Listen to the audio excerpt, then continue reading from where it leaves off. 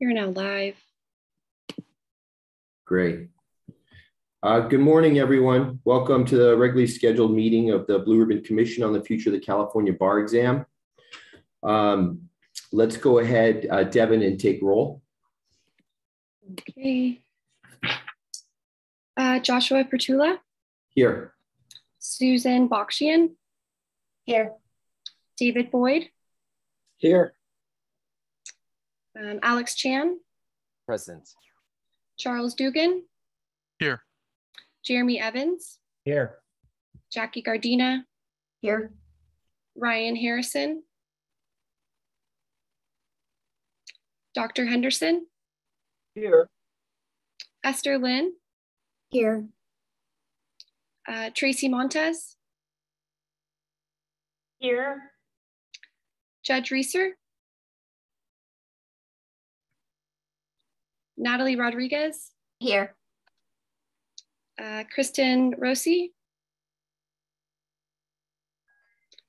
Emily Scavoletto, Here. Karen Silverman, Here. Mylan Spencer, Here. um, and Amy Williams. Present. We have quorum, Chair. Great. Thank you. Um, let me begin uh, briefly with some chair's remarks, uh, and then we'll um, we'll move to public comment, and then uh, and then to business. Um, first, I just want to thank everyone. At the last meeting, we had um, a, a, really uh, great and important discussion. I think we were able to narrow some of our uh, preferences uh, and group preferences down, um, such that we um, have a number of elements to discuss today to try to get towards a recommendation. Um, and we're getting much closer to doing that. Um, for today, we are going to first hear from uh, the Law Society of Ontario. Uh, we've had a chance to review the report before the last meeting. Um, we'll have a presenter. After that, we're going to get back into our discussion on the uh, three models and, and some of the elements uh, that we selected at the last meeting. Um, as for timeline, I thought it was important that we share with everyone. I think there is, um, we received some um, written public comment, um, had a chance to review it. It's been distributed to all of the members. It's just really important for folks to understand that there's going to be plenty of time for uh, public input. So we put together a quick um, uh, uh, timeline that we're going to try to hold to so that everybody understands kind of um, what our goals are here. We're hopeful that today we can come to some resolution on recommendations. Those would then be um, written up uh, by bar staff. And as you can see by this timeline, they would be put out for a 90 day public comment period. We would then um, receive those public comments. We would reconvene uh, as a commission. We would discuss those comments and modify uh, as necessary. And then we would submit the report to the uh, Board of Trustees. Um, our goal would be to get it to the Board of Trustees in the first quarter of 2023. Um, and then the board would um, decide whether or not to take action and, and um, send it on to uh, the Supreme Court. So um, that is our goal as far as timeline um, and, and public comment period. Um, with that, I'd like to turn to uh, public comment from folks in the audience today. we're going to do up to 30 minutes if necessary, shorter if there are not that many speakers, two minutes per person. Uh, if you are uh, in the audience would like to comment, please raise your hand uh, via Zoom and you will be called on. Um, and uh, I thank you for uh, uh, uh, participating. Devin, with that, are you going to do public comment today? I am. Okay, fantastic. So for our first public comment, we have Tyler. Tyler, you have the mic. Good morning. Can you all hear me? We can. Yes. Wonderful. My name is Tyler Sutherland, and I'm the Director of Racial Justice and Equity at the Legal Aid Foundation of Los Angeles, which we call LAFLA. LAFLA is one of the 11 civil legal service organizations within California with funding from the Legal Services Corporation. In 2021, LAFLA served more than 100,000 low income residents of Los Angeles County. Today, I'm here to express my support for the non exam pathway to licensure via supervised practice and will briefly explain how this pathway supports racial equity for our profession and within the communities within legal aid that legal aid serves. It takes a very special person to commit to a career in legal aid where starting salaries are less than half of what is common in the private sector. Unlike big law firms, legal aid organizations do not have the luxury of making offers to law students after their 2L summer. The months between when someone graduates from law school and when someone becomes licensed are incredibly detrimental to the hiring and retention of diverse CAB candidates at LAFLA. Law student graduates of color are less likely to have the economic supports to keep them afloat while they volunteer at nonprofit agencies while awaiting bar results. This gap in time means we lose excellent diverse candidates who otherwise might have the heart and aptitude required for legal aid work. Allowing for a supervised practice pathway to licensure will allow legal aid organizations to hire law school graduates earlier and will prevent the loss of some qualified candidates. Additionally, this pathway will mitigate the intense racial disparity that we see in bars exam results, which will hopefully increase the diversity of our profession so that more of LAFLA's diverse client population will be served from attorneys that come from their same communities. Thank you for your time. Our next public uh, comment is Claire.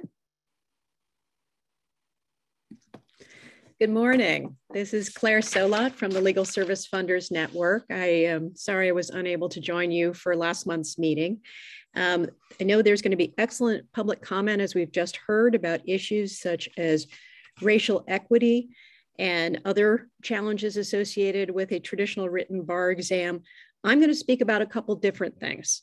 First of all, I'm excited to share with you that later this month, we'll be doing our midterm evaluation for this year's cohort of LSM fellows, and included in that will be newly designed forms that will be very similar to what has been discussed in terms of assessments of portfolio projects. And so in September, uh, we will be able to share with you some of those results. I think this will help ease a lot of the concern about how one administers an evaluation process for supervised visit uh, practice. The other most exciting news I have to share with you has to do with money, which we know is always a concern. Included in the public comment that was shared today was a letter from one of the country's leading foster care funders discussing why they support the LSFN Fellowship and their continued interest in supporting projects and programs that will help increase access to justice, diversity in the profession, and inclusion of non traditional attorneys in the practice. We all know that no matter what revisions are done to a written bar exam, they will never be able to mitigate issues such as imposter syndrome, PTSD, and economic disparities between examinees. Therefore, it's critical if this organization is true to its mission to increase access to justice and diversity in the profession, to add in pathways to licensure that are not solely based on a written exam. Many other municipalities and states and countries have recognized this. It's time that California does so as well. Thank you. Thank you. And our next comment is from Sebastian. Good morning to all members of the commission. My name is Sebastian Bendek, and I'm currently apprenticing as a provisionally licensed lawyer at the Legal Aid Foundation of Los Angeles. I've completed over 3,200 hours of legal work in the areas of eviction defense, domestic violence, and deportation defense. I believe that an alternative pathway to licensure would be of benefit to the State Bar of California and the California Provisionally Licensed Lawyers collectively. After nearly two years of legal practice as an apprentice, I believe it is safe to say that we have all been vetted, challenged, and humbled in our legal positions.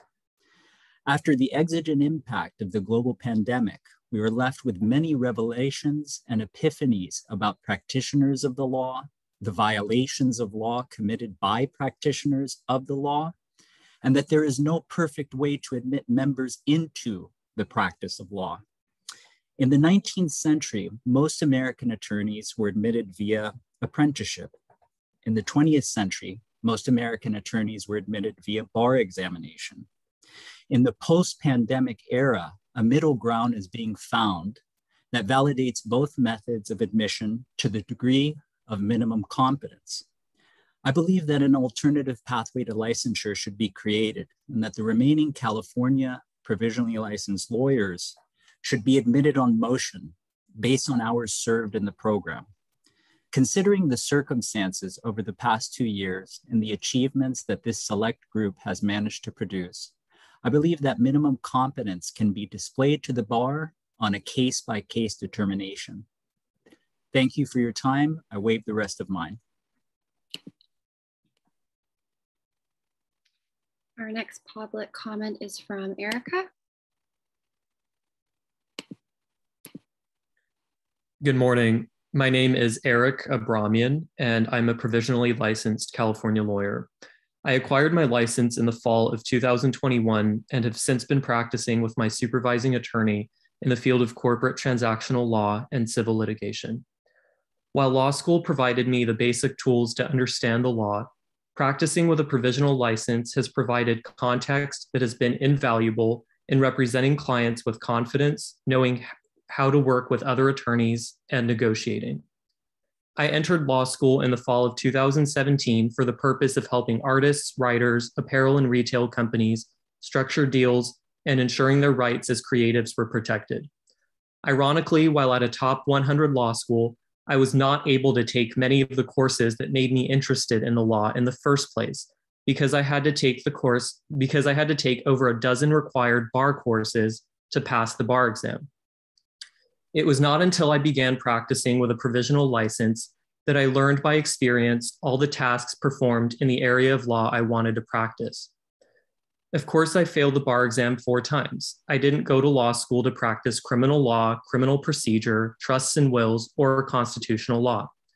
While in law school, I accepted the fact that I had to get through these classes to get my license, but little did I know that three years after I graduated, my less than minimum competence in areas of law that I will never practice would prevent me from beginning my career and paying off a quarter million dollars of debt. An alternative pathway to becoming a licensed attorney is the only sustainable way to move forward. Graduates of law schools should be able to select specific career paths without having subjects they will never practice stand in the way of their licensure.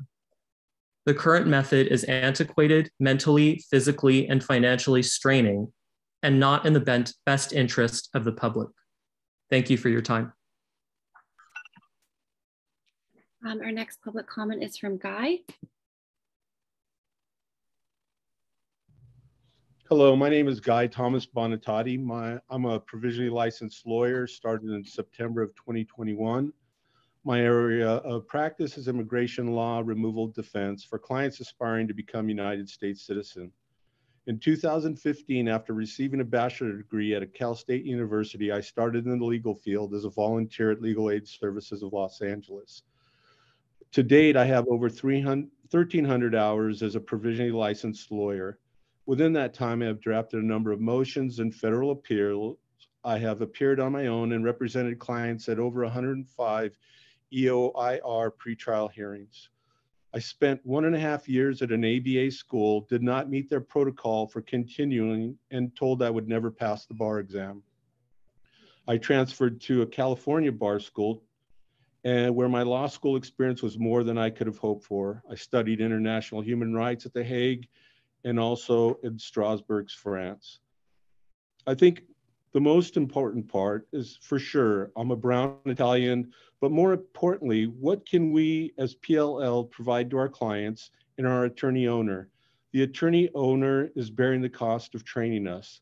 The bar exam is biased. It appears it does not test for compassion or diligence and as far as the law school being a marathon, the real test of endurance began when I began to practice law. My attorney owner loves this program as she says there are a lot of intelligent bar exam passers that are not, not equipped for the, lie, the work I am doing. But this program gives her the opportunity to give practical training to a law school graduate. It is apprenticeship in the true sense of the word. I have been blessed to be at a place that cares about their associates' mental well being and gives hands-on practical training because representing the law firm name is critical to its success. The non-exam pathway to licensure should be a totality of the circumstance analysis based on factors that the Blue Ribbon Commission comes up with. Thank you. We have no additional public comment at this time.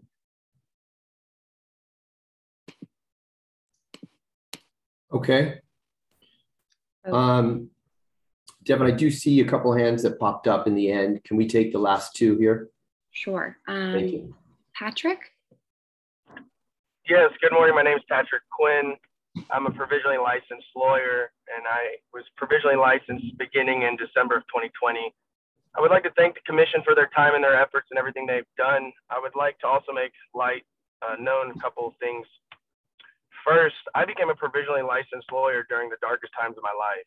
It was during a global pandemic, and it was also after developing adult epilepsy. I had two grand mal seizures, kidney failure, and a, and a slew of neurological issues. However, this provisional licensed lawyer has a, this program has allowed me to gain real life experience.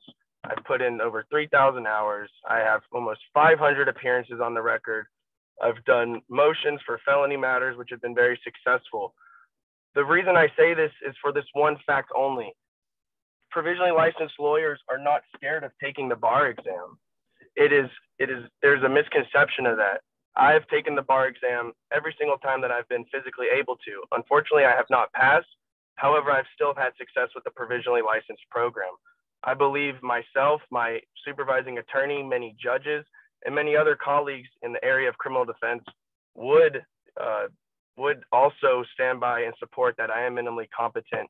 Um, so I just wanted to make light of this to the commission because I think there is uh, sometimes a misconception and criticism that provisionally licensed lawyers are just trying to skip the bar. And for my case, I physically couldn't take the bar. I was fighting for my life. And with this, I waive the rest of my time and wish everybody a blessed week. Our next public comment is from Jessica.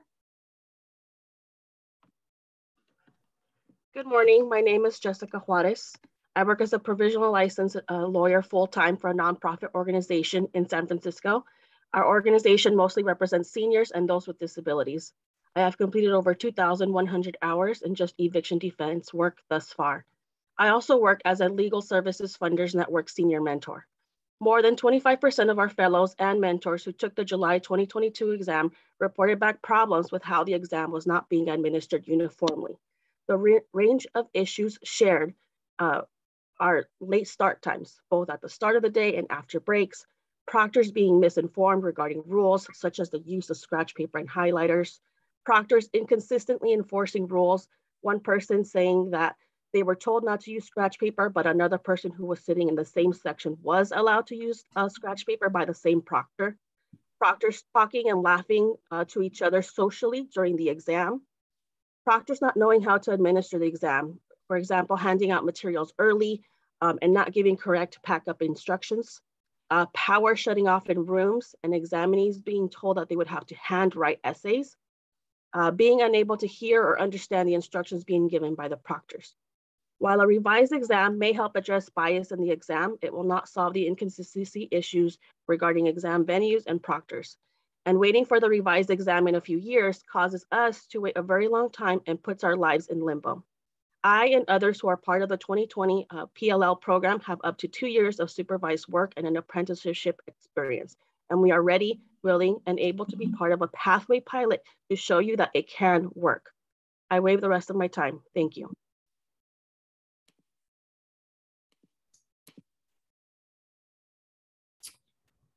Okay, that concludes um, public comment. Uh, I do want to say I appreciate all of the comments. Um, we truly believe in the process and it's helpful at times to have some perspective and individual stories. So thank you everyone for your time um, and commitment. Um, I think uh, moving to business, I believe we need um, a motion to approve minutes from the last meeting. Someone willing to make that motion? I move to approve, Josh. I'll second. Jeremy with the motion, Jackie with the second. Devin, can you take roll? Uh, Joshua Petrullo, Here. Yes. uh, Susan Bakshian, Yes. David Boyd, Yes. Alex Chan, Present. Oh, yes.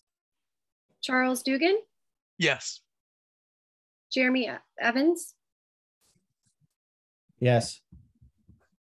Jackie Gardina, Yes. Ryan Harrison,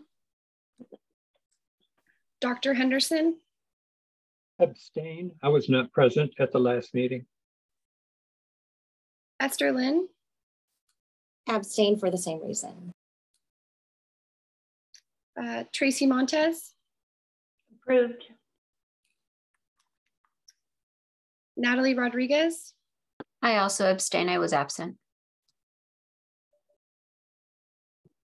uh, Emily Savaletto, Yes. Karen Silverman, Yes. Mylan Spencer, Yes. and Amy Williams. In favor. The motion passes. Thank you. Um, I think that takes us to the business part of our agenda. Um, and I don't know if um, Priya is available now. We can invite her. Yes, we will promote her now. Great. Perfect. Um, folks, we have with us um, Priya Bhatia, uh, who is the Executive Director, Professional Development and Competence at the Law Society of Ontario. Uh, as a presenter, we left, we'll have plenty of time for questions. And with that, Priya, thank you so much for joining us and uh, the floor is all yours. Thank you so much. Can everyone hear me? Yes. Wonderful. Um, so first of all, thank you so much for inviting me to address you all today. Uh, we are very interested in the work that you are doing in California and are pleased to have the opportunity to share our experiences. So uh, in particular, Audrey uh, Ching, please uh, wanted to thank you for reaching out and uh, for um, allowing me this time to, to share our, our experiences with you. Um, I am going to go to the next slide, please. So um, I wanted to just do a bit of context and background for those of you who may or may not be familiar with uh, what we do in Ontario. I know that you have read one of our reports and uh, I'm glad I'm glad you've had the opportunity to look at that. It gives you quite a bit of background, but just to touch on a few of the key elements. So, you know, similar to other jurisdictions in North America, experiential training has been a part of the lawyer training landscape for many decades. In fact, it predates law school in its current form.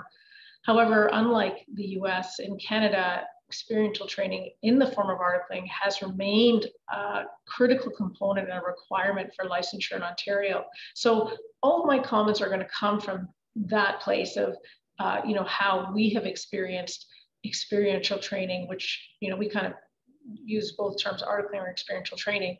Um, of course, as a licensure requirement uh, here in Canada, which, you know, may be quite different from what uh, is being contemplated as a supervised uh, practice pathway or may have some similarities with what you're thinking about in California. So I really just want to share our insights from that perspective. Um, so it predates law school. Uh, it is still viewed by many as integral to lawyer training and development, supporting the transition from law student to entry level competent practitioner. Law schools in Canada are excellent. Uh, they are, however, still by and large oriented towards more theoretical training, uh, with a few exceptions that I'll mention in a moment, um, as opposed to the practical clinical training focused on client service and communication, practice management, and file management that we as regulators are keenly interested in seeing uh, um, taking place at, at, at, a formative stage uh, of law student's uh, learning. So just by way of context, in Ontario, candidates seeking licensure must fulfill three core requirements to be licensed. One is completing a period of experiential training. Um, the other, and there are three pathways, which I'll talk about in a moment. The other two are the barrister and solicitor examinations, and then the good character requirement. So coming back to experiential training, there are three distinct pathways in Ontario uh, all anchored to our experiential training competencies. And I have included a link there to those competencies, which are on our website. First one being articling, which is you know the, the traditional program that the majority of our candidates are, uh, are pursuing. say 90% and above, so about 2,200 placements a year. It involves working under a lawyer in good standing with at least five years of call to the bar for a minimum of eight months. The second pathway is the Law Practice Program, which is an alternative pathway introduced by the Law Society in 2014 in response like primarily to the shortage of placements, articling placements, but also in response to some of the other challenges of articling that I'll talk to you about. This is an eight month program consisting of a four month training course that simulates the practice of law using a virtual law firm concept followed by a four month work placement. So there is a practical period uh, in that, um, but it's shorter and it follows a, a, very intense training course portion. So candidates are really hitting the ground running once they get into their placement. We have two uh, providers for that. We have Toronto Metropolitan University offering the English program and the University of Ottawa offering the French program. This pathway is um, a smaller pathway. We're seeing about 250 to 275 candidates pursuing this pathway every year. That's about an, the program is about eight years running now. Um, the third pathway is the integrated practice curriculum, which I understand resembles one of the other pathways you're also exploring, which is uh, a, pro, uh, a law school based program. Uh, currently offered at two out of eight Ontario law schools, Lakehead University, and Toronto Metropolitan University. These are the newest law programs in the country, and I don't think that's a coincidence. Um, so establishing uh, a program like the integrated practice curriculum is obviously uh, a big change in direction, and, it, and it, we do see the um, long-standing law schools struggling with that a little bit and maybe not as in, interested in doing that at this time, although um, you know there are certainly conversations being had. What the program is is it involves a co-teaching model where full-time faculty partner with practitioner instructors to support experiential training competencies instruction through practical assignments and tasks beginning right in first year, running all the way to third year, with a four month placement in the third year of law school. Candidates graduating from these IPC programs, as we call them, do not have to complete a period of experiential training after law school. So, whereas the law practice program and articling take place after law school, the IPC or integrated practice curriculum is the only pre um, call, what I should say, it's the only program that actually is taking place during law school. Currently, there, there, these are the only programs uh, like this in Canada, but other provinces, namely Alberta and British Columbia, who I think you may have heard from last year, are exploring similar concepts. And this was approved by the Law Society in 2013 as a concept. Other law schools are certainly um, able to apply and seek that accreditation from us. However, I think the, the issue is the one I sort of referenced, which is um, the uh, realities of changing a law school, established law school program so dramatically. There are about 60 candidates graduating from the Lakehead program every year and the, and the T Toronto Metropolitan University program, which is still relatively new. They're going into their third year, so they haven't graduated a class yet, but there are about 150 of them. Both the law practice program and the integrated practice curriculum providers are required to report to the Law Society because these programs are naturally in some way governed by us. The law practice program is really a provider of service, so we are retaining them to do the program for us. The integrated practice curriculum is a little different. We are governing the experiential training component of their law school program. And so they would be reporting to us on those components on an annual basis and seeking our approval of major changes to those programs. These are both outsourced models in a sense, and they work very well so far, um, where you have you know, uh, law schools, which are in a better position to do that kind of training than, than anything else, perhaps, uh, integrating or supporting experiential training competencies. All of this has been the subject of a lot of stakeholder consultation and policy reform for at least the past two decades. And so I wanted to um, talk to you a little bit about that. But that's sort of the current uh, model that we are following. So Uh, next slide, please. Let's talk a little bit about articling and what are some of the challenges. I mean, I, I think that in Ontario, the, pro, the, the challenges of articling have dominated our policy reform and stakeholder consultation activities over the last few years for sure. Um, and I'll just highlight some of the themes. Um, one is a shortage of placements. Currently, only 640 of nearly 12,000 law firms in Ontario offering are offering articling placements.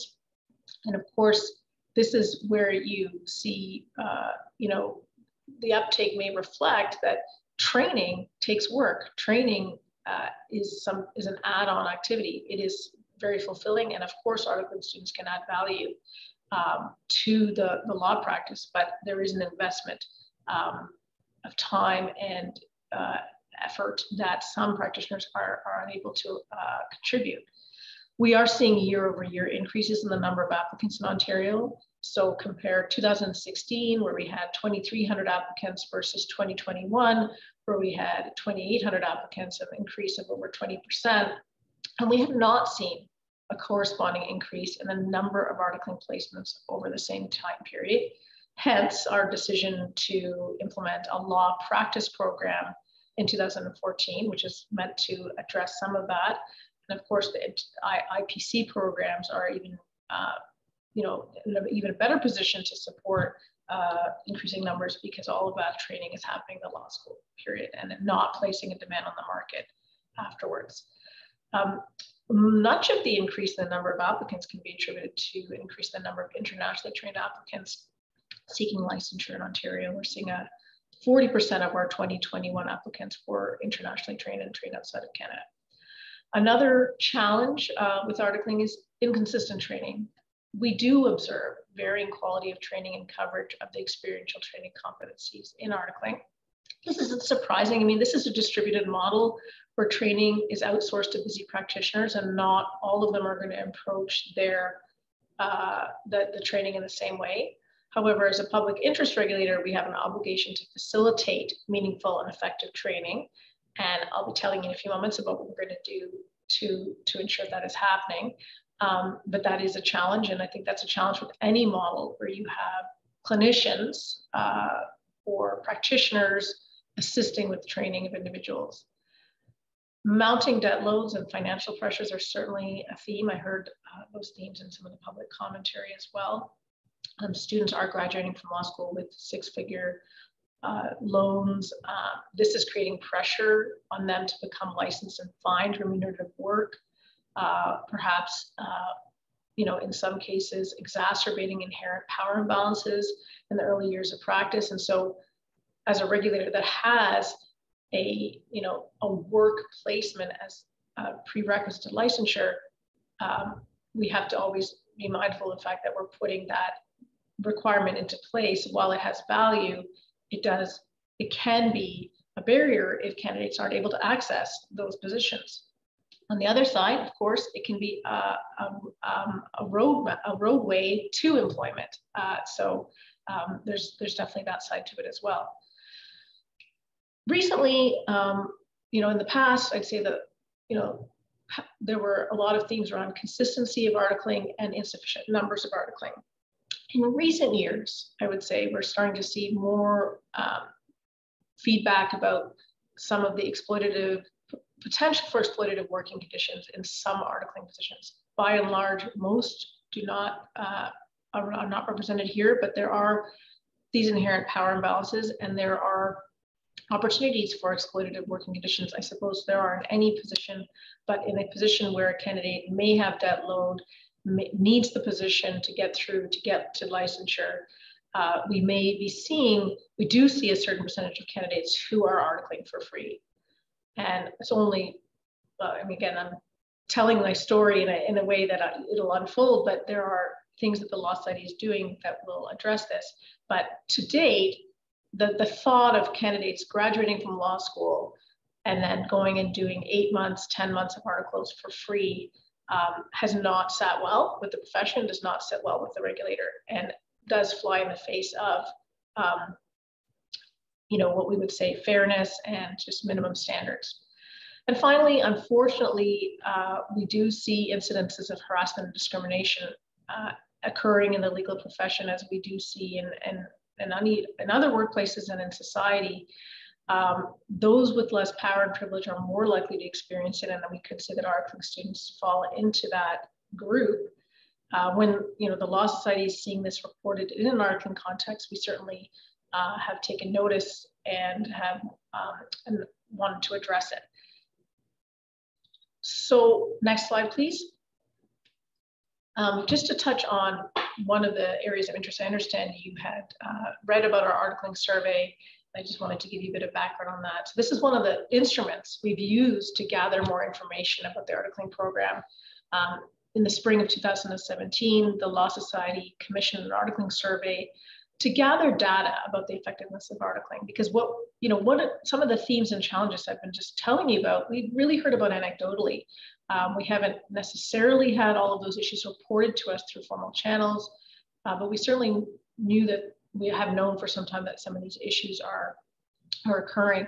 So the survey uh, focused on broad topics related to quality of training and supervision readiness to practice, job satisfaction, as well as mistreatment. And you can see we had a fairly large sample size, um, and it included candidates who were articling and those who've been called to the bar for a few years. The key outcomes that I'm, I'm sharing here, and these are by far not all the outcomes, um, but the ones that have sort of driven a number of the policy initiatives in recent years, uh, were related to discriminatory conduct or comments. You'll see that 90, 19% of the respondents reported that Another 17% uh, reported differential treatment based on enumerated ground under the code. Um, and then about 10% reported remuneration of less than $20,000 a year, which would be less than the minimum wage. We continue to um, survey on these issues, and we have seen uh, trends continuing, perhaps to a lesser extent, on the discriminatory conduct uh, and comments and mistreatment, but still enough to, to be concerned. I would say we're probably in the 12 to 14% range, and a little higher on the reports of remuneration being less than minimum wage. Next slide, please. So all of that to say, we take all of that and, and that's, you know, all of the information and, and sort of insight that has been driving the policy work. And I'm just gonna um, give you a little bit of context for the report that you've, I think, reviewed, which was the May 2018 report. Um, just to say that there was work leading up to that that included the articling survey. We came up with that consultation report that outlined four options um, for changes to the licensing process. And in fact, in that bucket of changes were changes to the licensing examinations as well. Um, where we ended up as of December 2018, uh, the Law Society Convocation, which is a basically a way of describing formal meetings of our entire board of governors, adopts option two, which was is option two in the in the May 2018 report, which was the status quo with enhancements. So experiential training pathways, all of them are maintained. The main changes are introducing a man mandatory minimum compensation for placement, so addressing that exploitative uh, working conditions issue. Um, mandatory training for principals and supervisors to address the harassment and discrimination issues, the issues around mistreatment, and quality of training, frankly, and then some enhanced oversight and monitoring through audits and other means, uh, which all of which was to go live on May 1st, 2023. Next slide, please. And then, of course, we had the pandemic. And unfortunately, that meant that we had to put on hold our implementation of these enhancements. Um, and um, what that meant was we uh, sorry, I should have said the implementation date originally was May 1st, 2021. That makes more sense. Um, but now we were not able to uh, not able to, to meet that. We instead shifted our focus quite dramatically, as many regulators did, to ensuring the continuity of our licensing process. So um, that meant transitioning our in-person examination delivery to online delivery. Uh, we reduced our period of experiential training from 10 months to eight months just because we had seen the lockdowns, the remote work impacting our articling principals' ability to offer these placements. We didn't want to lose all the placements. And administering admin, uh, implementing an administrative call to the bar procedure. In Ontario, we have a ceremonial call to the bar, but we needed a, a way to call people to the bar uh, without large gatherings. And finally, we, we did some work on providing some competence supports to address gaps that were created by these altered training and working arrangements that were necessitated by the pandemic. And um, this was where we took our existing con content actually from our CPD library and created a new bridge to practice program, which was really offered for free to new uh, to articling students and to new licensees and, uh, and was well received. Next slide, please. So coming back to the enhancements, we our board actually didn't really have a chance to turn its mind to that until the fall of 2021 and the spring.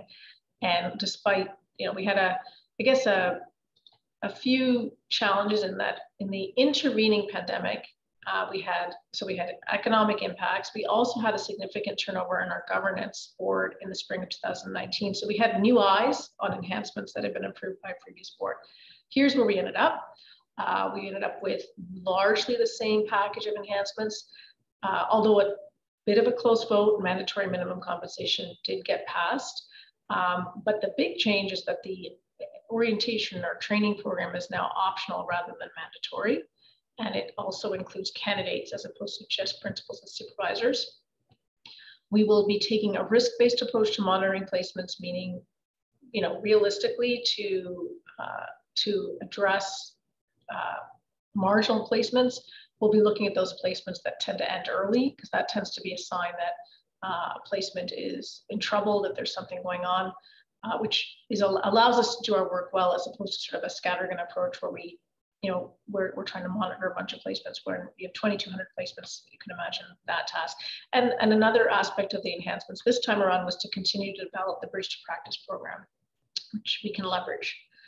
Um, another development of interest is emerged from another committee, uh, our competence task force in May of this year approved a practice essentials course, um, which is mandatory for anyone who is going to practice as a sole practitioner, whether they've been called to the bar for 20 years or just licensed recently.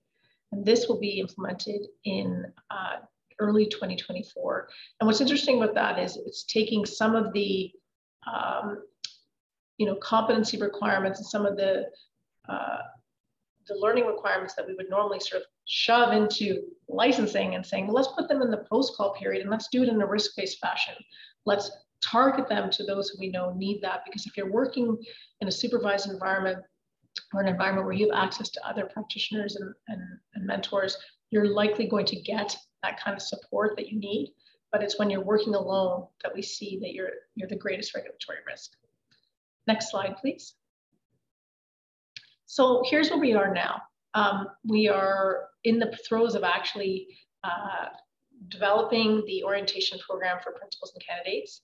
And we are also in the throes of establishing the framework for mandatory minimum compensation.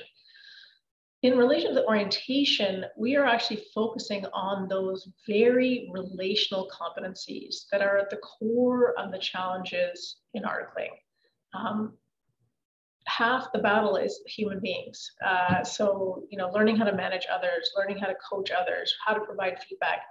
Lawyers are good at a lot of things, but they're not good at everything, and nor, nor should they be. So, if they're going to be in a situation where they're um, teaching and training someone, mentoring someone, there are skills that need to be learned, and, and especially when you're you know balancing running a, a busy practice.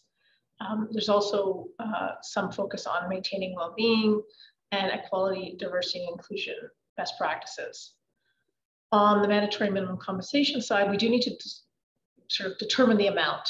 Um, it is going to be a floor, uh, and most of our placements are paid about you know 10 to 15, 12 14 percent are are underpaid or paid below minimum wage we will use the um, provincial minimum wage as a reference point uh, to set this floor it'll be expressed in some kind of um, monthly or weekly amount it will likely not be uh, tied to hours worked i mean it'll probably have to be based on a standard work week we know that that is you know, going to be challenging for some to accept.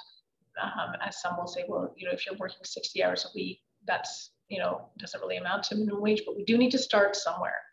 Um, so here, my lesson here is, you know, start somewhere and, and you know, iteratively move it forward as opposed to uh, getting bogged down and getting it perfect. Um, we do have the principle, the right principle operating here, and we will continue to evaluate it. There will be um, some kind of principled framework for exemptions tied to placements likely that support access to justice, serve vulnerable populations, but cannot pay the minimum wage. That is also under development. And this will all be implemented by May 1st, 2023. Uh, fingers crossed. Next slide, please. I did want to mention that despite the fact that there are these challenges in articling and that you know we uh, are enhancing the articling program to address some of them, we the Law Society has a number of existing supports and programs for candidates and principals, and these are all links um, that address some of these more sensitive issues uh, particularly uh, proud of our discrimination harassment counsel program, which is a safe counsel program that allows uh, any member of profession and indeed anyone who's been served by a profession to speak to counsel confidentially about uh, discrimination harassment issue. We have a member assistance program and some other programs there that I just wanted to draw to your attention. Next slide, please. So stepping back, um, I thought I'd just share some broad perspectives on multiple pathways and what it means to operate multiple pathways or sponsor multiple pathways from a regulatory perspective. And this is just, you know, our, our experience in Ontario. Um, first of all, I think it goes without saying that ongoing stakeholder engagement is critical. Our experience has been that most members of the profession will not take the time to understand the new pathways they will gravitate towards the process they went through themselves and what is familiar. And they will find ways to discredit the new pathway simply because it isn't familiar. I don't think it is necessarily a resistance to the pathway itself. Um, what this means is that as the regulator or sponsor of the pathways and participants in the pathway, um, we must engage in ongoing sustained engagement with stakeholders to socialize the new pathways and foster acceptance. Once you do that ribbon cutting, you're not done. You must continue to, to do that uh, because people are not paying attention and they may um, form you know, initial impressions, again, when they evaluate the new, new pathway against what they did. And we can't do this alone, right? I mean, you know, the regulator can put a lot of things into play, but we do need the profession to participate. And it sounds like, uh, you know, just hearing from members of your uh, commenting public about the provisional licensure, uh, that there are some very willing and capable practitioners out there who are um, progressive and doing great things, and that's really exciting. Um, secondly, you know, nurture what you plant. Relatedly, you know, the enhancements we're putting into place for the articling and, and LPP program, I should mention those enhancements apply to both of those streams, are an example of the type of maintenance work that you need to do to ensure your programs remain viable and effective. Establishing new pathways is actually the easy part. I know that always sounds pretty crazy right now because you're very engaged in establishing and determining and deciding on those pathways, but actually it's once you have the pathways um, I think the real work begins. And if I could continue the gardening analogy, um, sometimes it's important to take time to cut back the overgrowth. So you may end up with multiple pathways with the view that they all need to live together, or you may see very clearly at some point that one of the pathways has to go, that maybe, you know, the pathway that was the long-standing pathway that served us for so long is no longer applicable or as effective as the others. And that is a good thing because it means your new pathways have proven um, their worth, but it, it also means that you have to, you know, take take the overgrowth out, and that's a challenging activity in and of itself. So in Ontario, funny enough, we have had articling for so long, and there have been lots of um, proposals over the years questioning whether articling really is the best way. Would we do it that way if we were to design it today? And you know, we have a law practice program, for instance, that is excellent Uh, and we, in some ways, you know, can see that it has a, is a more consistent and effective way of supporting entry-level competence. Um, you know, so will articling stay or go? That's for another day.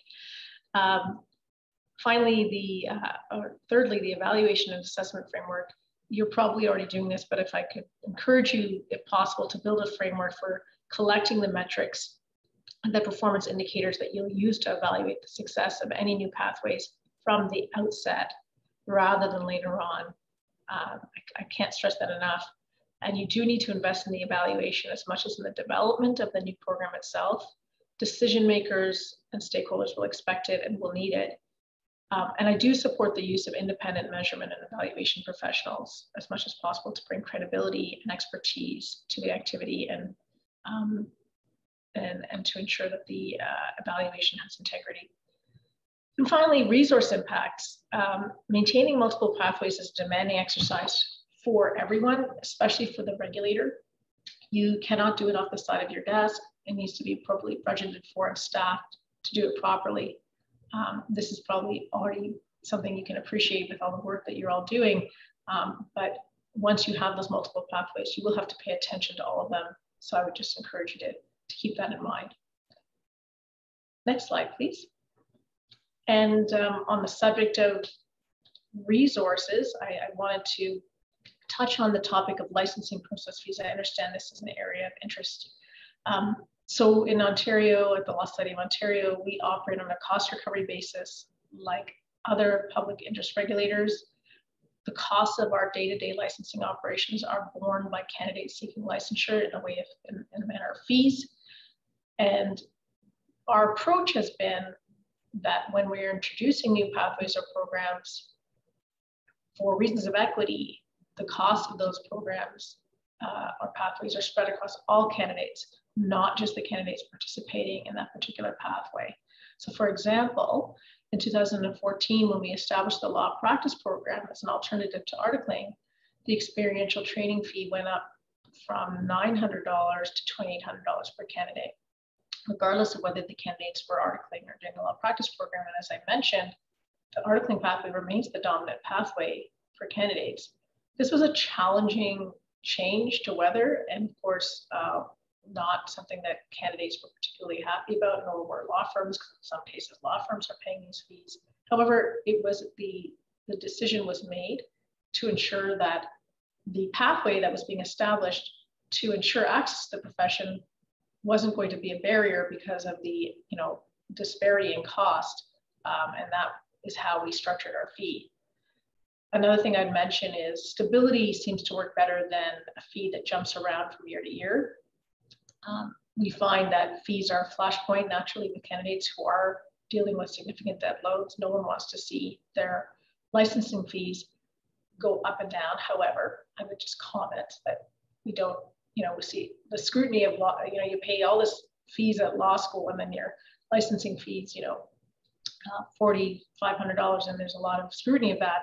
But that aside, uh, you know, we are talking about uh, a group that is going to be price sensitive, that is dealing with uh, significant debt load, debt loads, and that there will be significant criticism from stakeholders if fees bounce around a lot. So I think one thing to think about is building fees in a way that, that is defensible, transparent, but that allows for some stability so that you're not having to defend that fee every year, that, that it will you know, stay, be stable for a few years. So you would have to build in some, some room for, for inflationary increases and that sort of thing.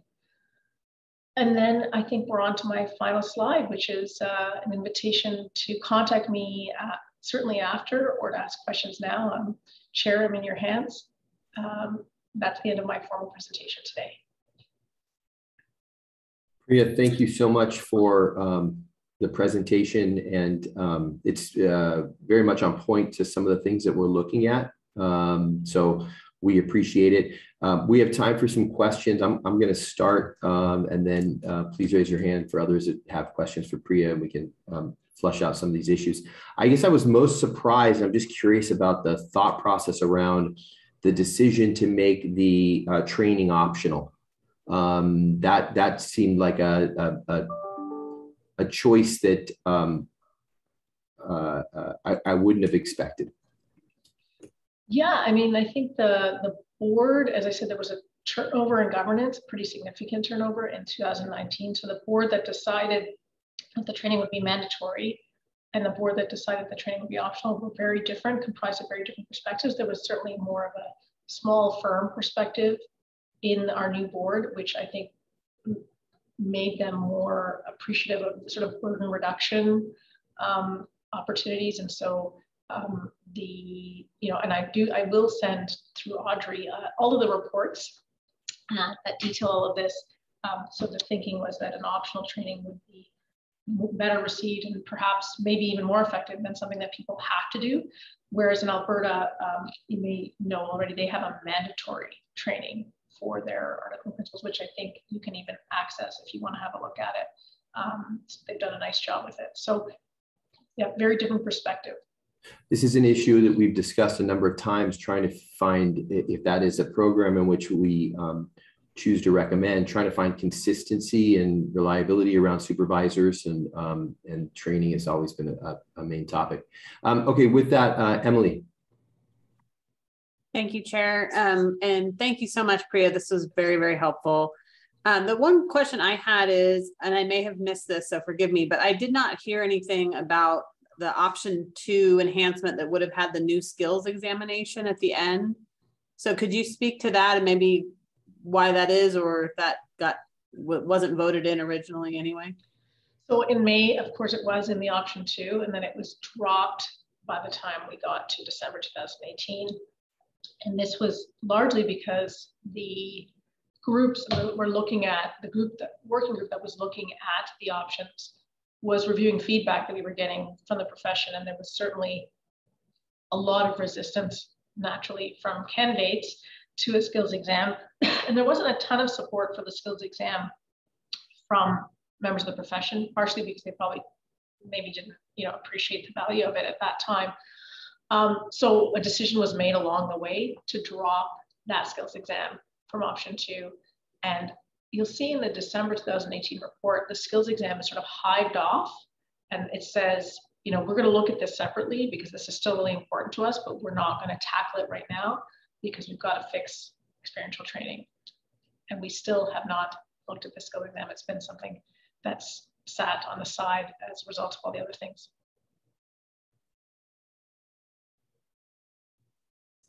Mylin?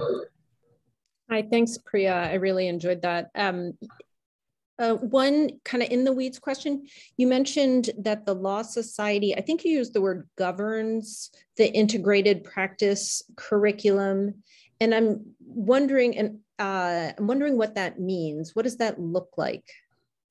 The way it looks like it's kind of kind of a hybrid, right? Because we don't govern law schools generally. I mean, we have there's a national requirement that our federation, our National Federation of Law Societies, has in place. It's a high level, broad strokes requirement, but it is there, and that governs all law schools in Canada.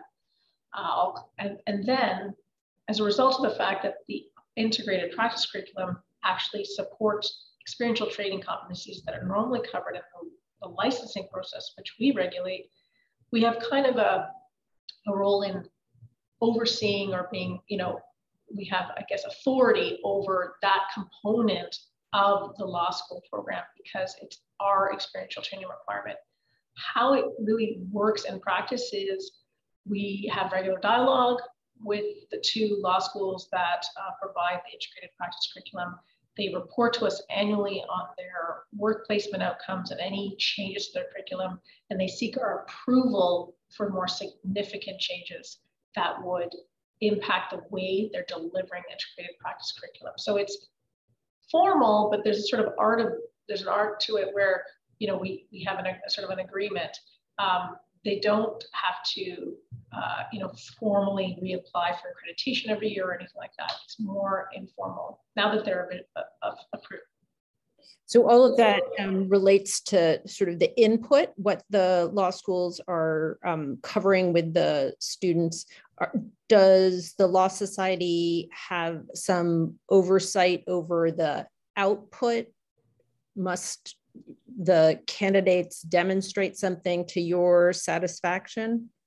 So because we have, so what we've done is we've outsourced the evaluation of the experiential training competencies to the law schools. Like we have said, you evaluate them. We will continue to evaluate all candidates using our barrister and solicitor exam, which is not purely knowledge, there's application, but it's not a skills and task exam, right? So um, we have outsourced not only the, the input, the delivery, but also the evaluation of those assess of, and the assessment of those competencies, just like we have with the law practice programs. So we don't have an independent assessment. That's what the skill, there was a skills assessment that was supposed to sort of come into play at some point along the years to ensure that law practice program students, articling students, and any other students all had the requisite skills. That's what that was going to be for, but we haven't gotten there yet.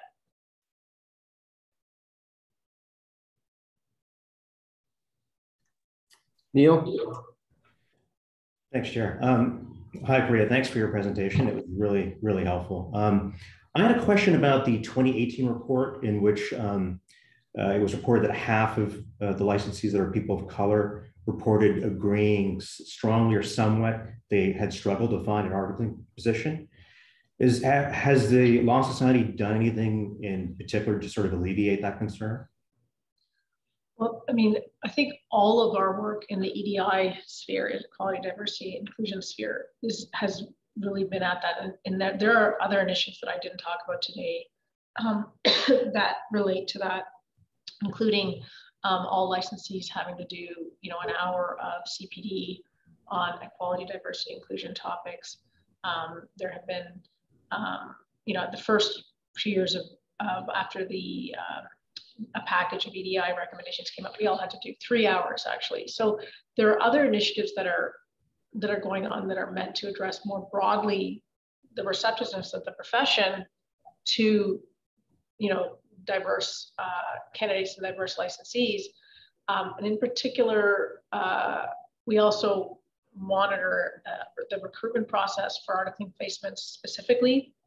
And of course, uh, do our best to ensure that, you know, bias and implicit bias and, and is, is removed from that process as much as possible. Interestingly, the pandemic has opened up an opportunity there that um, you know, there was a time when we don't, you'd see students traipsing down to the law firms for the cocktail parties and and and that sort of thing. And that's kind of where, frankly, uh, there's an opportunity for disparities to emerge. Someone who has a background in country club might have an advantage in a cocktail party than someone who's not, who's a first generation lawyer, right, from a different community.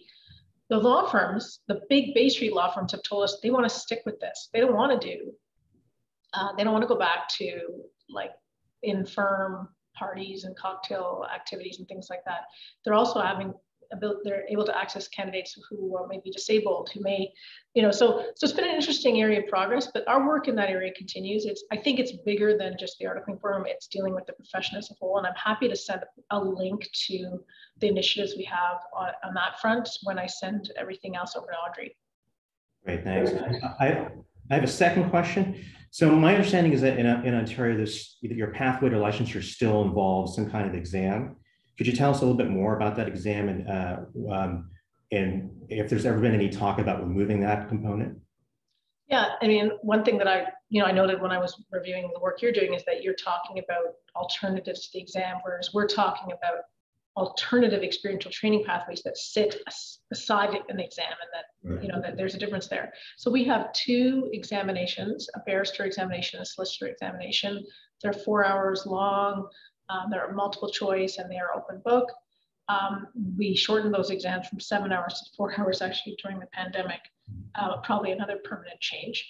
Um, and, you know, I, I think that there are, are always views on whether the Law Society should be administering an exam. You know, law schools are doing such a good job. This is duplicative. Uh, this is, you know, creates burdens. But we actually do, and I think our board and you know, views the examination as an important component of ensuring entry level competence.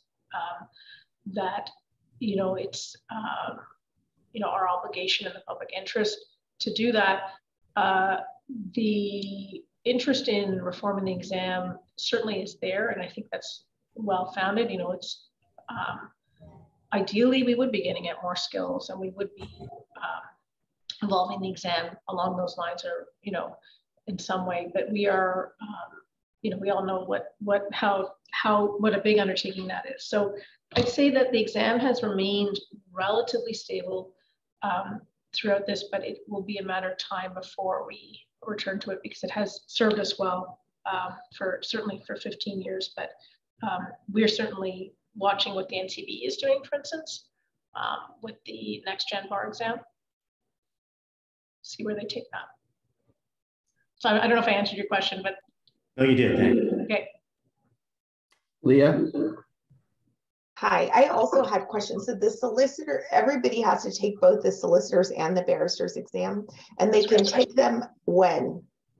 So you can take any time after you admitted to the licensing process. So to be admitted to the licensing process, you need a law degree, and you, or you need a certificate of qualification if you're an international student. Uh, so you come to us, you register for the licensing process, and there are three sittings of the licensing exams per year currently. So you can register for the exam before your experiential training. You can do one exam, do experiential training, and then do your exam. You can do an exam during your articles if you want, if you're able to study and work at the same time. So you have three years to complete everything.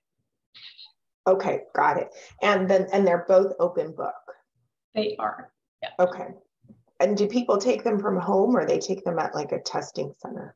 So we used to do them uh, in sort of event-based venues that we kind of build our own testing center. And then when the pandemic, we went online and now we're back to in-person um, testing. They're not, it's not a Prometric or Pearson VUE testing center, it's our own, but uh, we are looking at actually moving them to those kinds of testing centers. Okay, all right. And then on a totally different front, um, is there any incentive for firms or attorneys to take on a um, an intern or to do supervised practice, either financial or continuing legal education credits or anything? Do are there any incentives at all? That's a great question. We actually offer full 12 hours of CPD credit for being an article principal. Um, so we have always recognized that it is it's it's not simply that it's you know we need articling principals, but there actually is learning that goes on on both sides, um, and professional development. And so it is uh, yeah, full, you, you're gonna you get your full 12 hours that way. Okay. And the three hours of professionalism, well, chances are you're going to be talking about some ethics and practice management issues, and you're you know if you're to supervise a candidate, so you do have to fulfill that as well. But it can be fulfilled through articling. You just have to get that part accredited. Okay, Great, thank you. Susan, do you have a question? Yes, just to follow up on Neil's question, could you give us just a sort of general, and I know that there will be differences and disparities, but what's the average pass rate for the barristers and solicitors exams? Yeah, um, so our pass rate is around 80% on the first attempt. Uh, so it's fairly strong, but if you break that down by education pathway, our domestically trained or educated candidates are going to pass at an average of 90% versus our internationally trained that's around 50%. First time pass rate, which we see as indicative.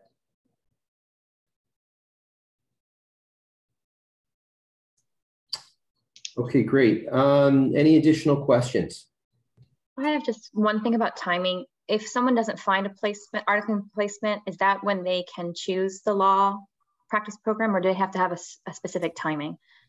You can choose a law practice program at the outset and we would love it if more candidates did choose it because it is a very good form of training and we do see candidates uh, actually during the pandemic more candidates chose the law practice program. Um, but you can if you don't if you want to try to find article placement you are going to have to wait till the next intake of the law practice program which is every fall. Uh, we don't have multiple intakes for that program. So but there is no waiting period. And I should have mentioned, Audrey, I think you wanted me to speak to this, I apologize. Um, people find their own articling placements, but we have an organized recruitment that NALP, you know, kind of runs, um, probably like the, the, with National Association of Law Placement, um, Canadian Arm as well. Uh, you know, the law firms get together and there are certain days, uh, you know, timelines for applications. Everything is quite structured outside of that, candidates can still find jobs, and they do uh, into third year law school. And of course, we do offer a, a registry at the Law Society, which is still listing positions. way back in the day, we had a matching program, which we no longer have. Um, okay, great. Alex, it looks like you may have a question. I do. Thank you, Chair. Uh, thank you, Priya. This is very useful. Uh, just one final question. I, I realize in the 2018 paper, it reflects a total cost of $7,000, not including, I think, tax. Can you speak to that amount? Um, I know that amount sort of reflects a discount um, by the commission. Uh, I'm sorry, from, from the profession where, you know, probably a million dollar was contributed. So without that number, how much do you think it will cost for applicants to select and complete option two? Well, it tends, so, I mean, our, our, our amount is $40,000, $4,710 plus 13% tax. So, you know, it is, yeah, it's, it's, it, it, you know, nears up close, close to, you know, what you're saying, 7,000. If we were to take the $1 million contribution away, um, which is $25 per licensee, it tends to increase the licensing fee about by about $300, if I recall correctly. We have to use sort of a, you know, baseline number of the number of full fee equivalent licensing candidates we have. So it's not an insignificant amount. Got it. Thank you. Okay, any additional questions? Great. Um, Priya, really appreciate your time. Thank you so much. Um, would you mind if we shared your slides with the with the group? Not at all. Although I want to, I want to ask either Audrey. We have to. I, there's one thing I have to correct on that one slide. I had the date wrong, and I, I might. Change. You, you can change it. So it was May 1st, 2021 for that. Mm -hmm. And then I will send Audrey the links or, or the reports that seem to be of interest in some of the links about some of the things you've all asked me about for more information. So yes, absolutely. Feel free to share, share the deck. Wonderful. Thank you so much. Thank you. Have a great afternoon. I'm going to, or a great day. okay. Bye. Thanks, Priya. Thank you so much. Bye. Um, all right, folks, we're going to do just a really quick break before we dive into the next item, uh, only because it's going to, once we get started on it, it's going to take some time. So if we can just do uh, 10 minutes and we'll come back, we're going to uh, begin with uh, item B, um, which is the discussion and potential recommendation for a non-exam pathway to licensure. So we'll be back in uh, 10 minutes.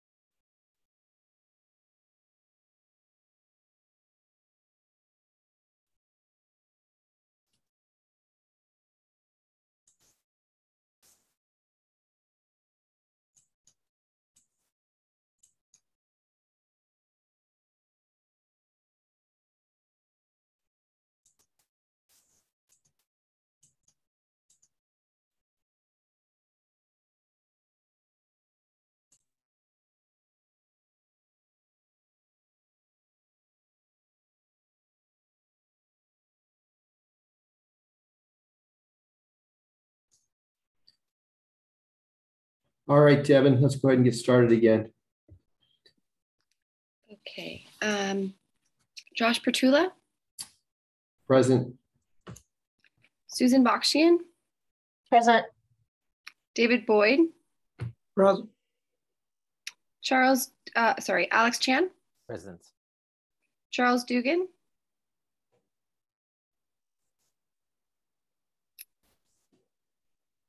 Charles Dugan, Jeremy Evans, Here. Jackie Gardina, Here. Dr. Henderson, Here. Esther Lynn, Here. Tracy Montez, Here. Natalie Rodriguez. Here, and I just see Charles logging in. Okay, Charles Dugan, Here, thank you. uh, Emily Savaletto, Here. Karen Silverman, Here. Mylan Spencer, Here. and Amy Williams. Present. We have a quorum. Great. Thank you. All right, folks. Um, thank you for staying on time and on task. Appreciate it. Uh, we are going to move to business item B, discussion and potential recommendation for a California non-exam pathway to licensure. Um, and with that, I'm going to turn it over to Audrey, um, who's going to kind of walk us through some of the history here and what we, um, where we left off at the last meeting. Thanks, Audrey.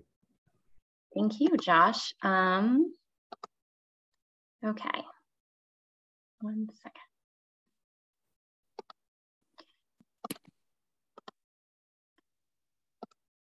Okay. Um, so discussion and recommendation for a California non-exam pathway to licensure. Um, there was the agenda item posted, um, pretty thorough recap and lots of attachments on where, how we got here to date. We've heard presentations from Deborah Merritt, Joan Howarth, who uh, talked about improvements that can be made to licensure exams for uh, minimum attorney competence, and also bar exam alternatives. Uh, we've looked at the Daniel Webster Scholars Honor Program out of the University of New Hampshire Law School, where they have an application process where a small cohort do a different uh, curricula in second and third year. We heard from Wisconsin, uh, where they have diploma privilege for their two ABA law schools. Uh, we've heard from the Oregon Task Force representative a couple different times um, about their OEP, the Oregon Experiential Pathway, that's um, heavily modeled on the Daniel Webster Scholars Program, and their SPP, the Supervised Practice um, Program. Uh, we've heard from Canadian provinces, Alberta, British Columbia, Ontario now again today, and we heard from a representative of the PrEP program, which is a training course used by four of the Canadian provinces. So that's just a very high level, quick summary of all uh, sort of the background on some alternative ways uh, to test for minimum competence. So where we left um, in July, we had three options that uh, the group moved forward to this meeting. Um, option one, no change to the program of legal education, meaning no additional unit or course requirements, but the six experiential education units already required will be modified to meet the CAPA requirements for skills and abilities. A post-graduation supervised practice period between 750 and 1500 hours. And then a summative capstone portfolio at the conclusion of the supervised practice period to be reviewed and scored by the regulator. So that's option one. Uh, we also moved forward option two, a non-exam pathway introduced during law school with expanded doctrinal and experiential education requirements, also modified to reflect CAPA.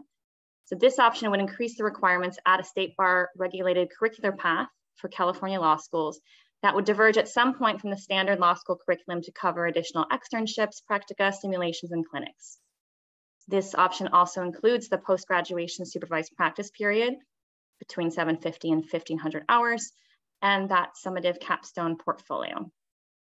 Finally, there's option three. Again, no change, similar to option one with the law school requirement to the program of legal education, but the six required units would be modified to meet the CAPA requirements. A post-graduation supervised practice period between 750 and 1500 hours, and then a California preparation uh, readiness program, similar to the one used in several Canadian provinces with online modules, in-person workshops, simulated law firm, in-person capstone to be completed concurrently with the supervised practice period. So these are the options that we left um, in July to circle back to today. Um, and basically they, they all have three main components, the law school component, supervised practice component, and the assessment component. Um, so looking at these discrete components and kind of unpacking, we have the law school component.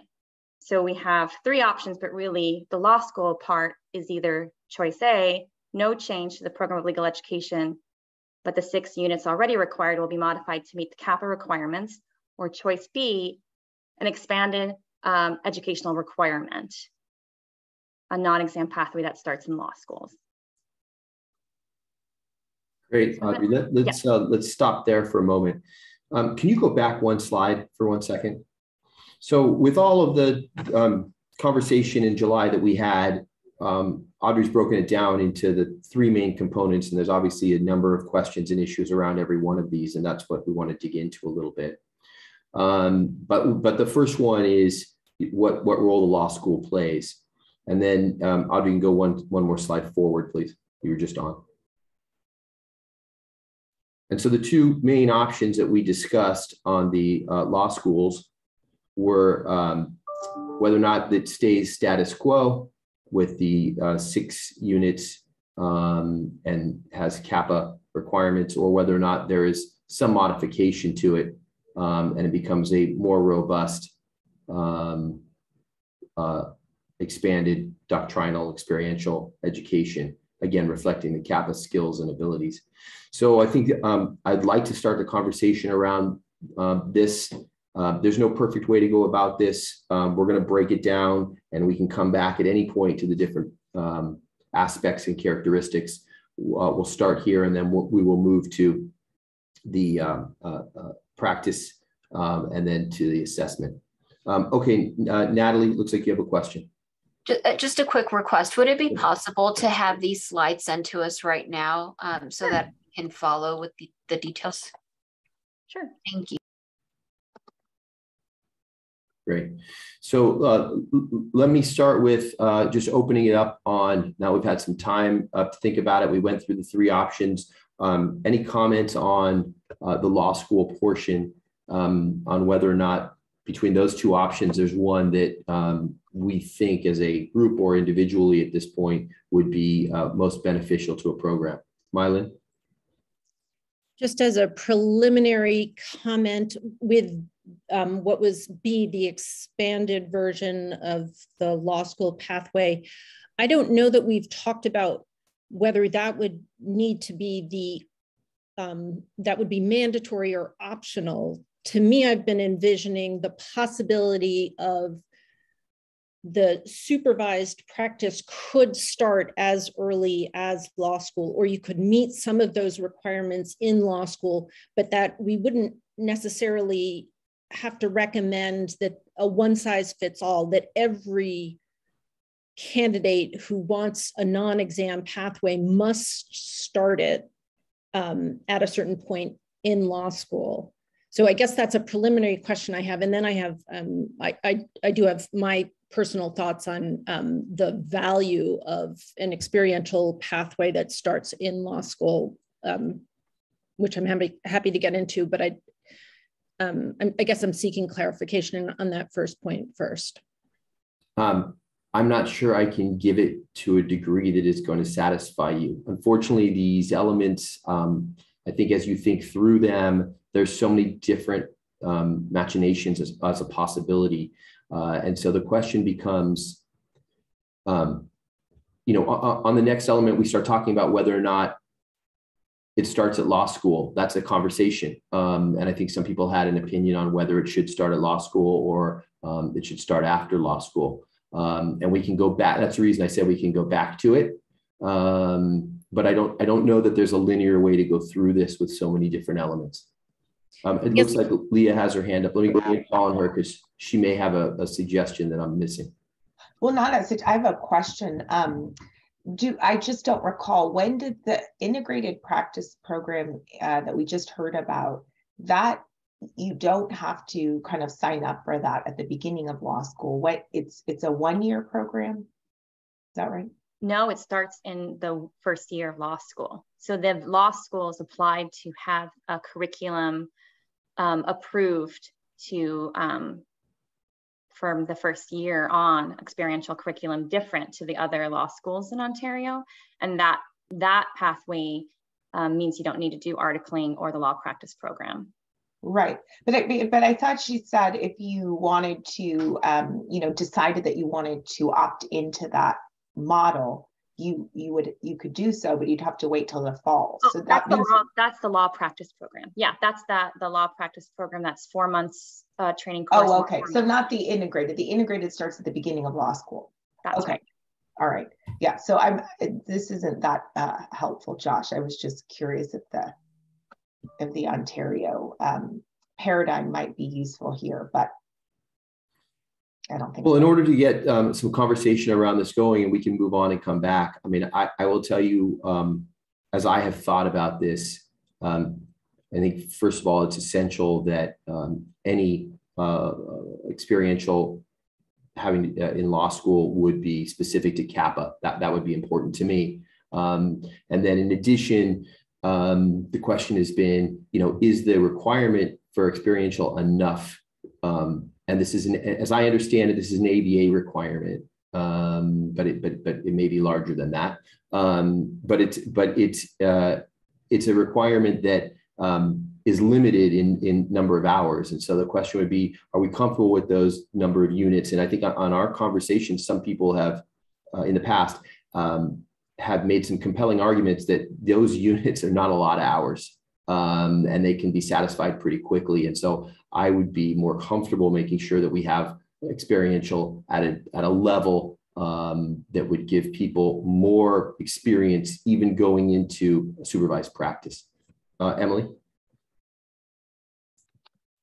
So my sense on this with the, um, I, and I understand we have sort of A and B here, but I, I do think that, um, so just looking at the exam pathway, law school, if California adopts what we have proposed, law schools are going to have to change what they do with experiential education.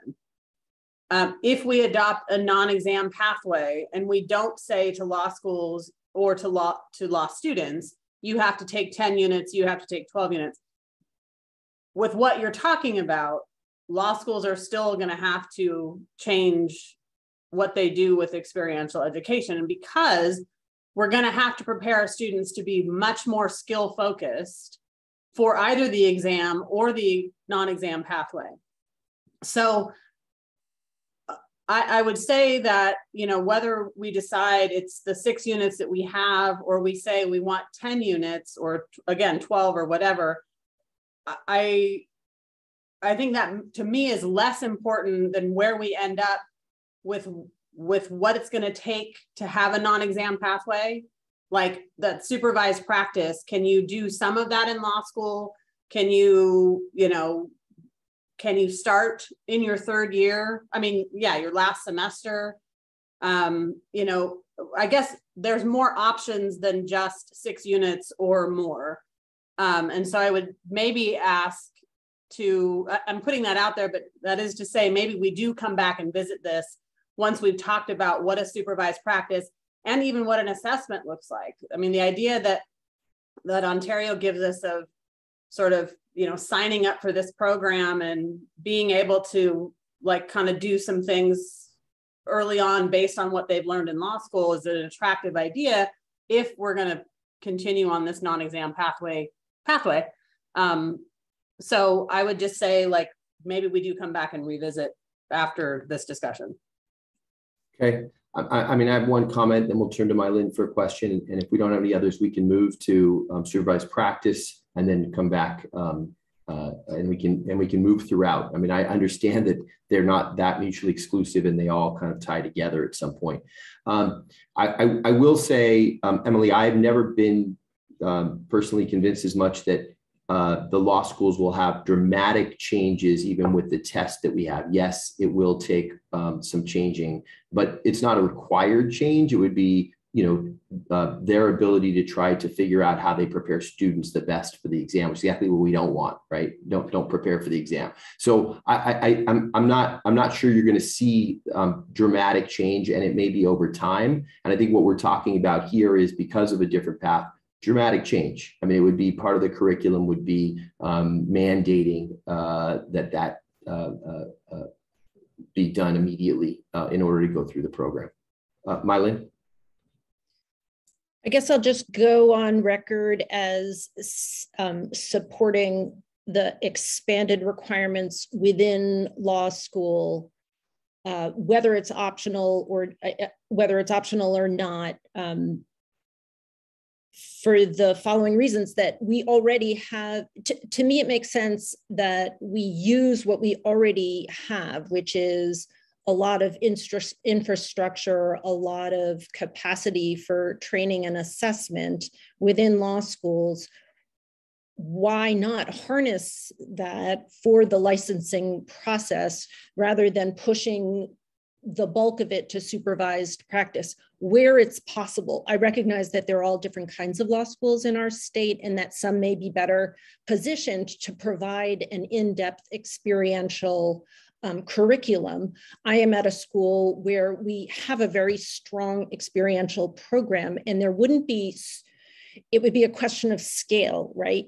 Increasing um, the requirements, increasing the, the menu options for students, and, and having a curriculum where I, I, to me, I'm not sure it makes sense to have to select in your 1L year, but certainly by the beginning of your 2L year, whether you're going to follow this path.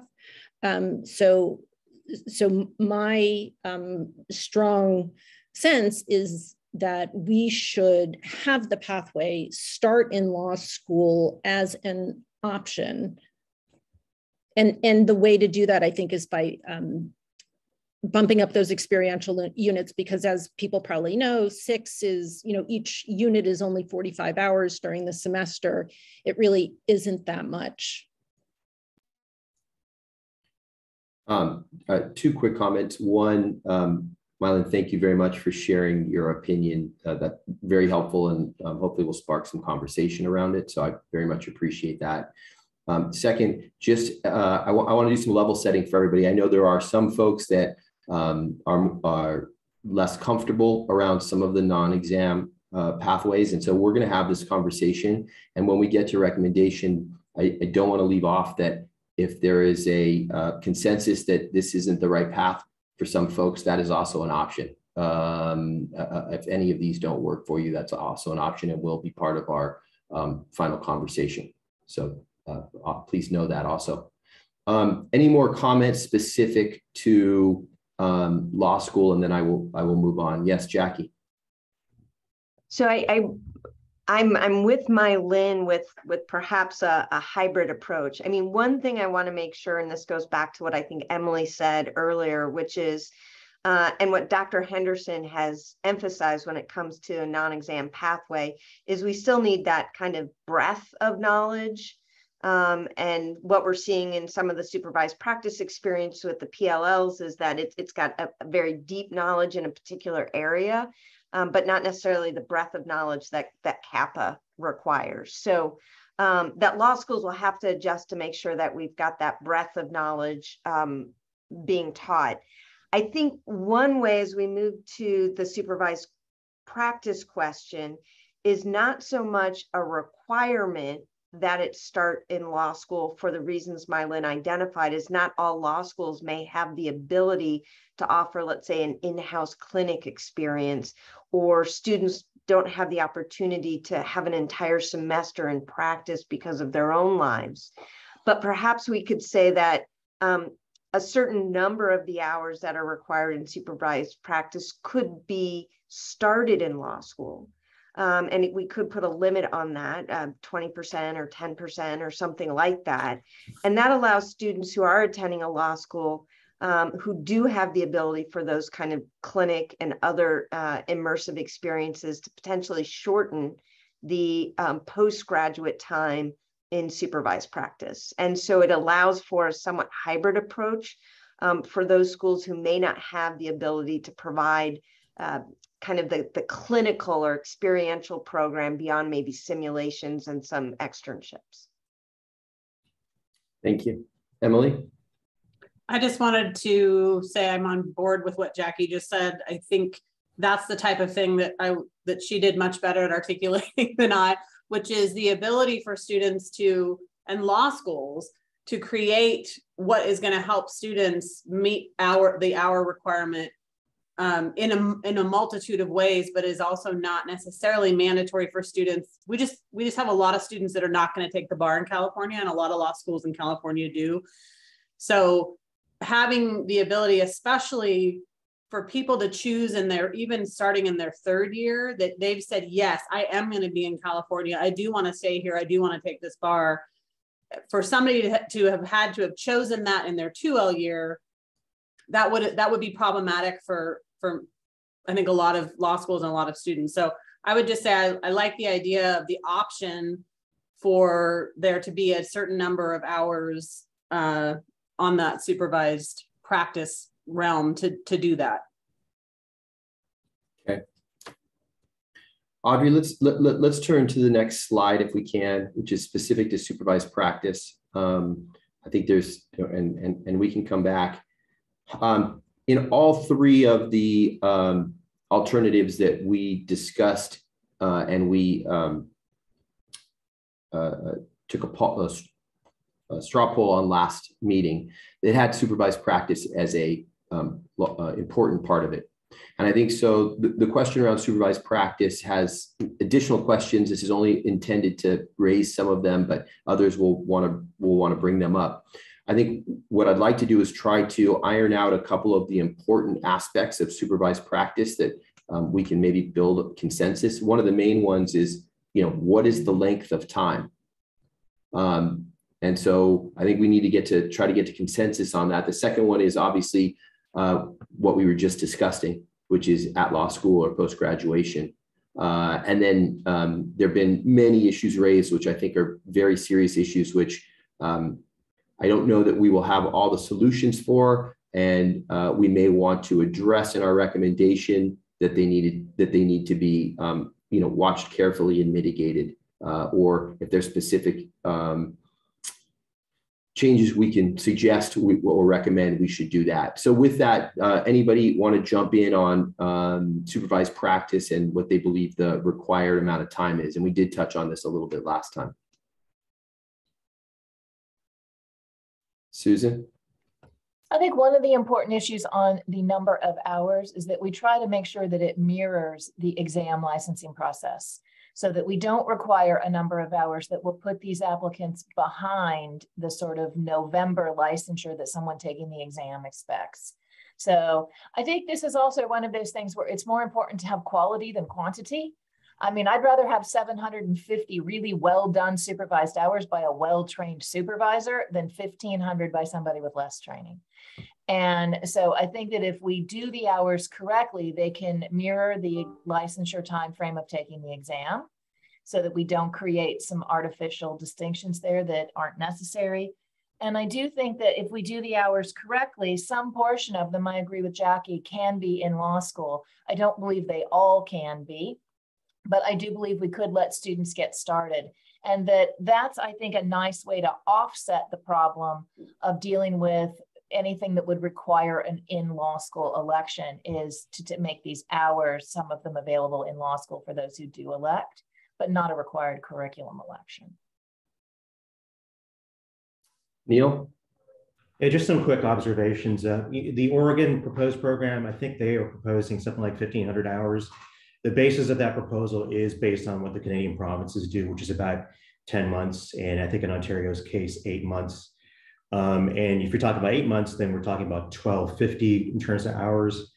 Uh, and uh, about studying for the bar exam, you know, unfortunately, it's going to be a little more difficult to figure out what that means because this commission uh, is obviously making recommendations about that exam that will change it. It may change how soon it's graded. It could change how, how many hours are actually required. Um, so just observations that are out there. Uh, Amy. Thank you, Joshua. My concern is not so much with the hours. We had several public commenters earlier today say that they've done a thousand hours here, 2,000 hours there. But we know that the reality of casework, cases aren't resolved in a week. They're not resolved in a month. They may not even be resolved in a year. So for me, knowing how much specific time is being spent learning a specific type of task on a specific type of case with specific sets of issues, that to me needs to be a little more specified for me to feel comfortable saying that this person has sufficient experience and has put in a sufficient number of hours to learn that skill set in that specific circumstance or case. I think that, you know, with with Canada, I remember when I first bought my home in 2004 because I'm a I'm, I'm a dual resider in the states and Canada. I was first told that I would have to article for six years, and I said, forget that. I will not get my license in Canada. Thank you very much. And this was in British Columbia. And this was 20 years ago. Uh, I'm sure the circumstances have changed, but I worry about not only the amount of hours spent on a specific type of case or skill set or issue or type of law, but also who's going to regulate these supervisors. That to me is still a very important issue. We don't want someone just, you know, going through the motions. We want we want these these candidates to get the very best possible supervision and mentoring that they need to be able to learn and be confident in these skill sets.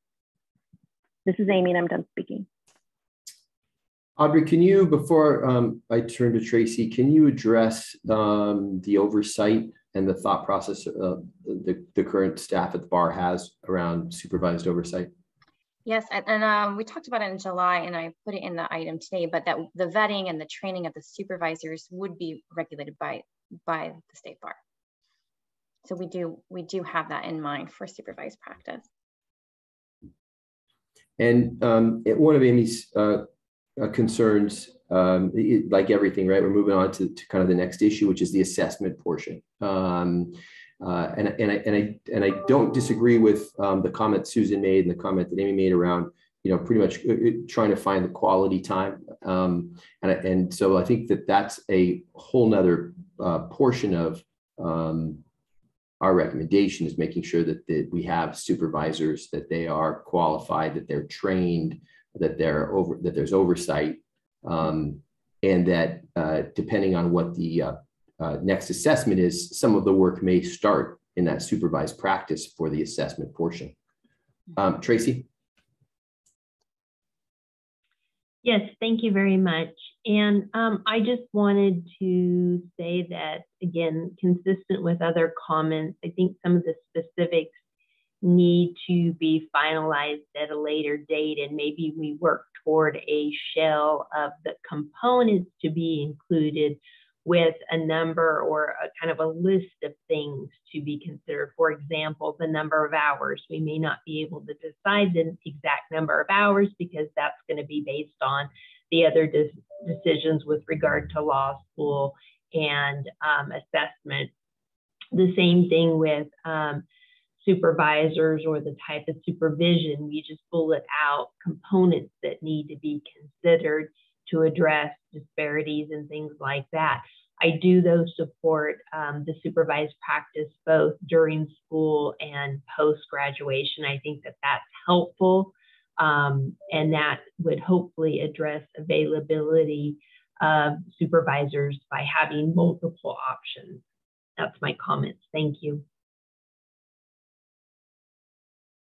So let me let me just address that comment for one moment. I mean, I, I could see um, again if we can come to consensus on it, the concept uh, on hours um, that we make a recommendation that has something uh, says something about uh, a goal to make the path timeline consistent between um, both an exam and non-exam pathway, uh, consistent in timing for licensing. That was a comment that uh, Neil made earlier, and I'm sure a, a broad statement like that would be um, sufficient for uh, whatever uh, the court decides, and if there was a executing body that would try to implement.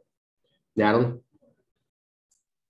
So I like the um, that in the program that we just heard about that for those that are supervising, they receive CLE credit. I think that would encourage more supervisors, but I also think that that's a way to ensure that the supervisors are getting adequate training. I could see as part of the CLE credit bearing that there would be programs that they have to complete as supervisors um, so that everyone is on the same page about what it is that we're expecting from the supervisors.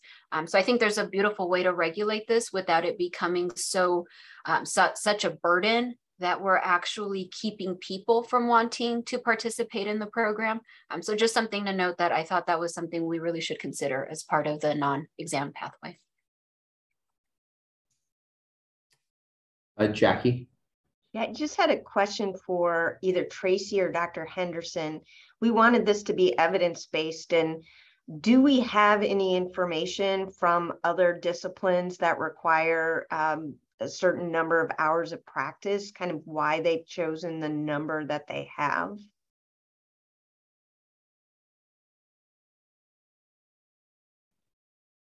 This, is Tracy. I'm happy to chime in. So many of our Department of Consumer Affairs do have supervised experience. And again, um, they will have a group of subject matter experts come in, work together. These are licensees and they will look at, again, what is expected uh, for minimum competency entry level.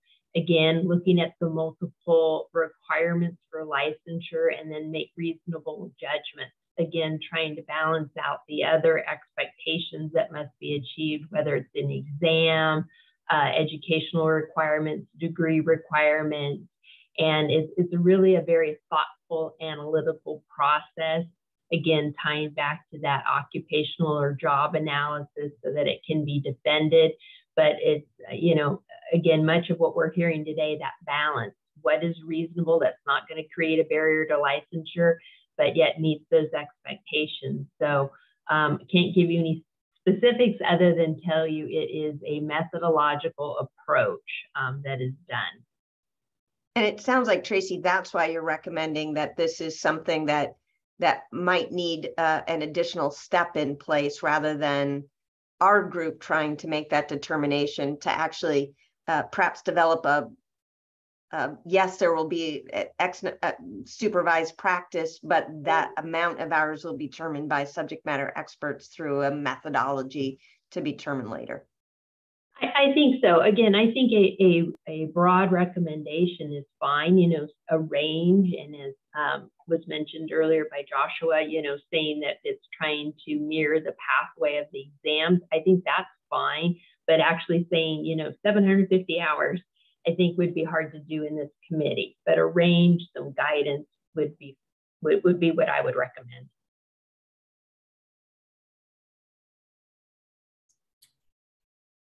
other issues. Does anybody have any thoughts on um, mandatory mandatory versus optional training uh, or compensation that were discussed on, um, uh, in the earlier presentation?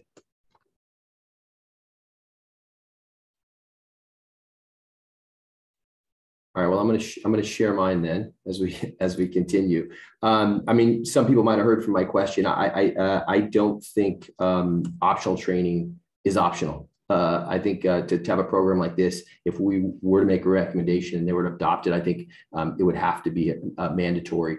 Everyone would need to understand uh, the objectives um, and the expectations around it, um, and so that would be something that potentially could be done uh, by the bar. I had not really thought about compensation before, but I do think it's a it's a big issue we need to discuss. I mean, there are folks coming out with very large debt, and um, uh, you can say that others are uh, uh, spending the time to study for the bar exam, but a lot of those people are working at the same time and getting paid to do it, although you know part time, etc. Um, and this would be a commitment of time uh, during uh, that they would that they potentially wouldn't get paid for, and so there's a fairness and equity and uh, that I think we need to think about. Dr. Henderson. Thank you, Joshua. Um, I have two points to make. The, the first is uh, uh, not only do I think that training for supervisors has to be mandatory, but I believe that there needs to be a requirement that spells out uh, the structure of the supervised training, that there needs to be a list of uh, skill components based on the CAPA um, practice analysis that um, details what it should cover. Um, the uh, other point is uh, to what you just talked about, uh, Joshua, um, compensation. The supervisors need to be obligated to the state. And so some compensation, even a small amount, uh, would create the uh, expectation that they are responsible to the state, to the public in uh, their supervisory work. So I'm all about compensating the supervisors as well as requiring their training. Mylin? Uh, I would agree on the mandatory training and very structured um, based on CAPA training for all the reasons already articulated. I think, and, and this is based on my supervising externships for 10 years now. Uh, the training of supervisors is important, but equally, if not more important, is the monitoring. And I liked what Priya said. She didn't give us much detail, but what she said about risk-based approach to monitoring the placements, because there are some placements that are going to be great, they're going to stay great.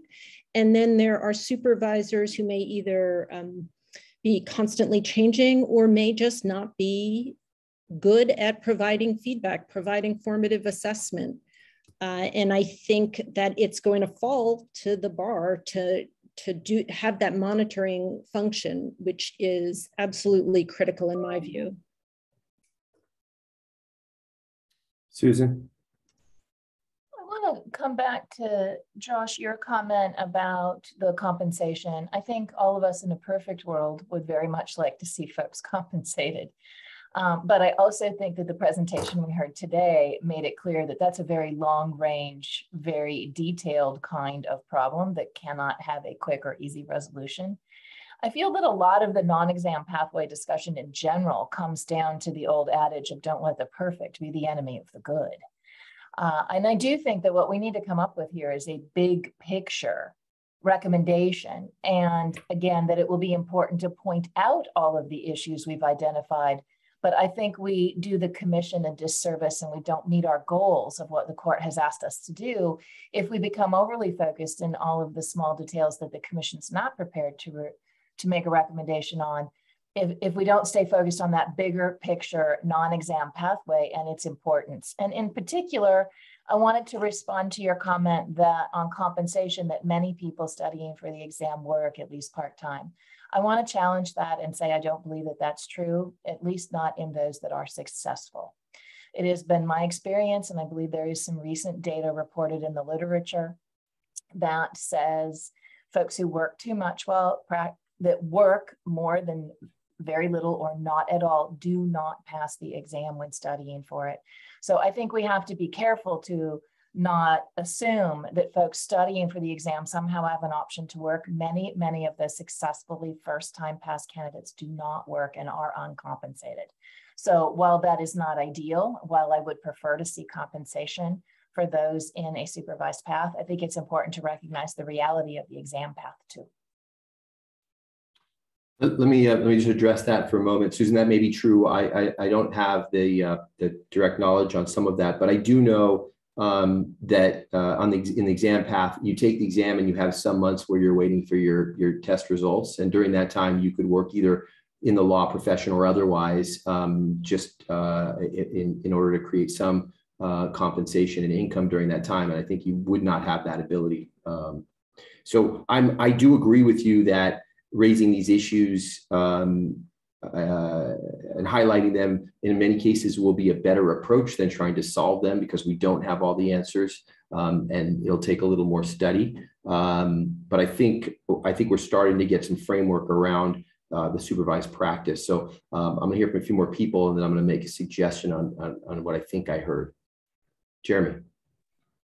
Thank you, Josh. I appreciate it. Um, so I kind of wanted to sit back and and uh, and and listen and um, and hear everybody out. And you know, obviously we've we've gone through this now for Um, we've seen so many different reports and everything else, and uh, it's been such a great uh, commission and experience uh, to work on with y'all, with everybody on this. I guess I wanted just to, um, you know, express sort of some thoughts that I've had and have with regard to the non-exam pathway and sort of what my thinking is. Uh, so I think sort of where I'm at now, I'm going to be voting against, um, you know, any non-exam bar pathway. And, and I think where this comes from is that um, sort of looking at the history of this, you know, we've lowered the cut score, we've reduced the exam from three days to two.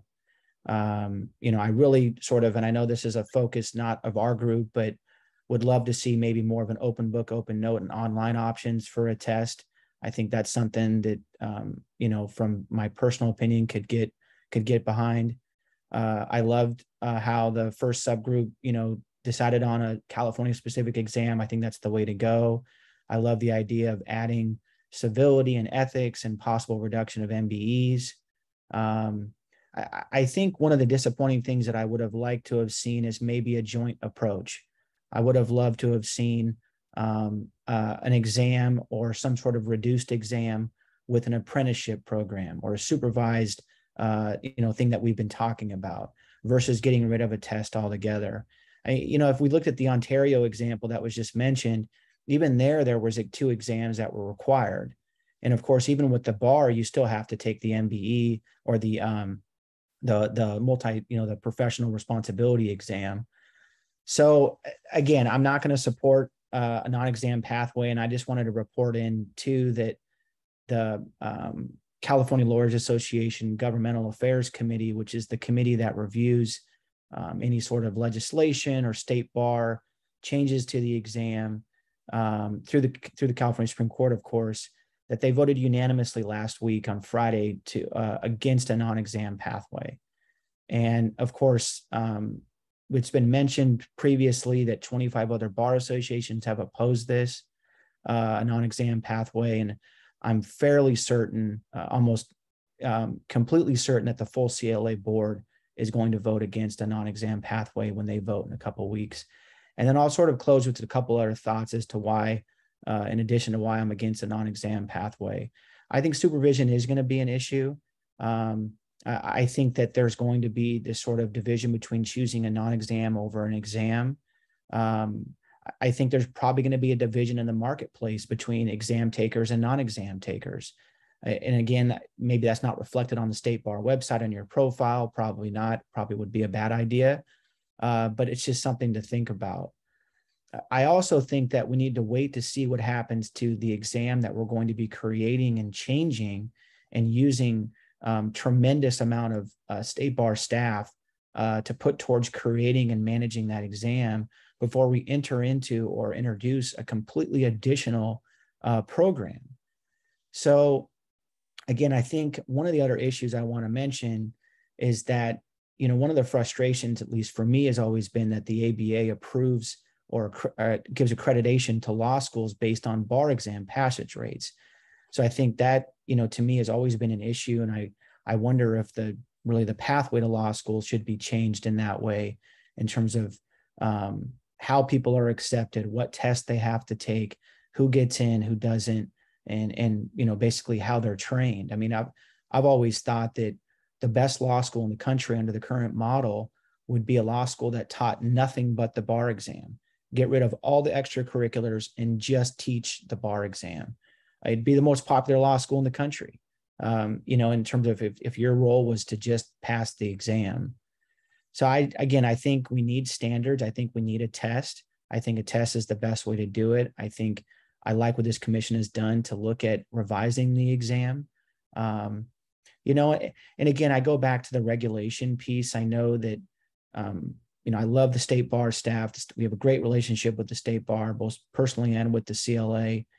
But, you know, again, I think regulating attorneys from that standpoint, in addition to regulation of uh, malpractice and those types of issues, uh, and plus, who would pay for the training? because I know one of the things that law firms have done, and I'll close on this thought, Josh, and to everybody on the commission, and sorry for taking so long. But one of the um, things that law firms have done is they cut back on training. And so, where would lawyers, particularly solo practitioners or or um, sort of mid sort of mid-sized law firms, find uh, the time or the money to uh, to do this sort of supervised practice? But uh, anyway, those are those are my thoughts. But I just wanted to be clear with everybody that I'm voting against a, a non-exam pathway. Thanks. I appreciate the thoughts. Um, I will say, um, you know, I hope as we get there, Jeremy, you have an opportunity to look at uh, some of the recommendations and, uh, you know, take a, a, a, new look at it. I mean, I think the goal here um, is to make recommendations that could be um, as minimal as uh, you know looking into some of these other ones. This is our this is the chance to do it. So um, I have a very open mind about what the possibilities are, but I share some of the same concerns you do. Um, I hear them. Uh, like I said, uh, we will have an opportunity for public uh, uh, comment um, and to get more thoughts on it.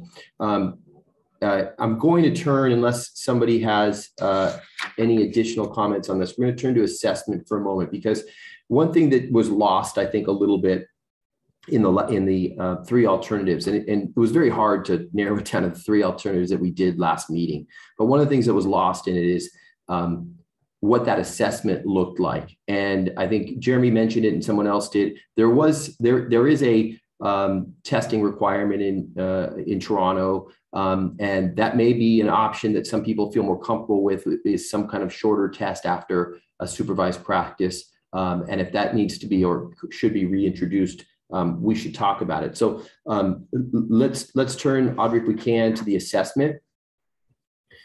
Um, between the three choices, we talked. Uh, uh, there was really two choices under assessment. The first one was choice A that we talked about, and I want to get into the details of it. But a summative capstone portfolio at the conclusion was choice choice B, which was uh, uh, more of the online modules, in-person workshops. Um, the one that, that was kind of left out in that group, um, and I think a little bit unfairly because it was um, put in with a number of other elements, and I would be willing to talk about and reintroduce if people had interest, was the additional assessment of an open book uh, or some other um, shortened assessment, and that and that wasn't uh, on one of the su suggested um, choices that did not make it through. Um, and uh, I want to bring that up now. So if uh, any comments on whether or not people feel more comfortable with the capstone portfolio, and then we can kind of dig into what that means, or whether they like the online module and in-person simulated uh, workshops more. Uh, Mylin. When we when we talk about a capstone portfolio, does that mean that um, all of the uh, performance is all at once, or is this something that you're adding to as you go along through whatever the pathway is? So for can I, can I take the can I take the question mark off the end of that and say that that is your opinion?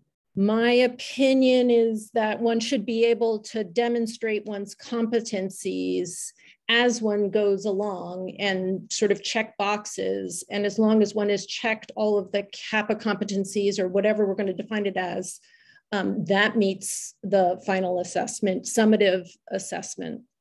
Uh, that, that that that that's a uh, that's um, I think one of the issues here is you know how what is the process to go through that? Whether or not that is a and and you've laid it out um, very nicely whether or not that's a process that you can um, do individual capstones during the during the process as you meet those requirements or whether or not it, it is a final summative capstone that's all done at the same time. Um, anybody else have thoughts on that? Amy?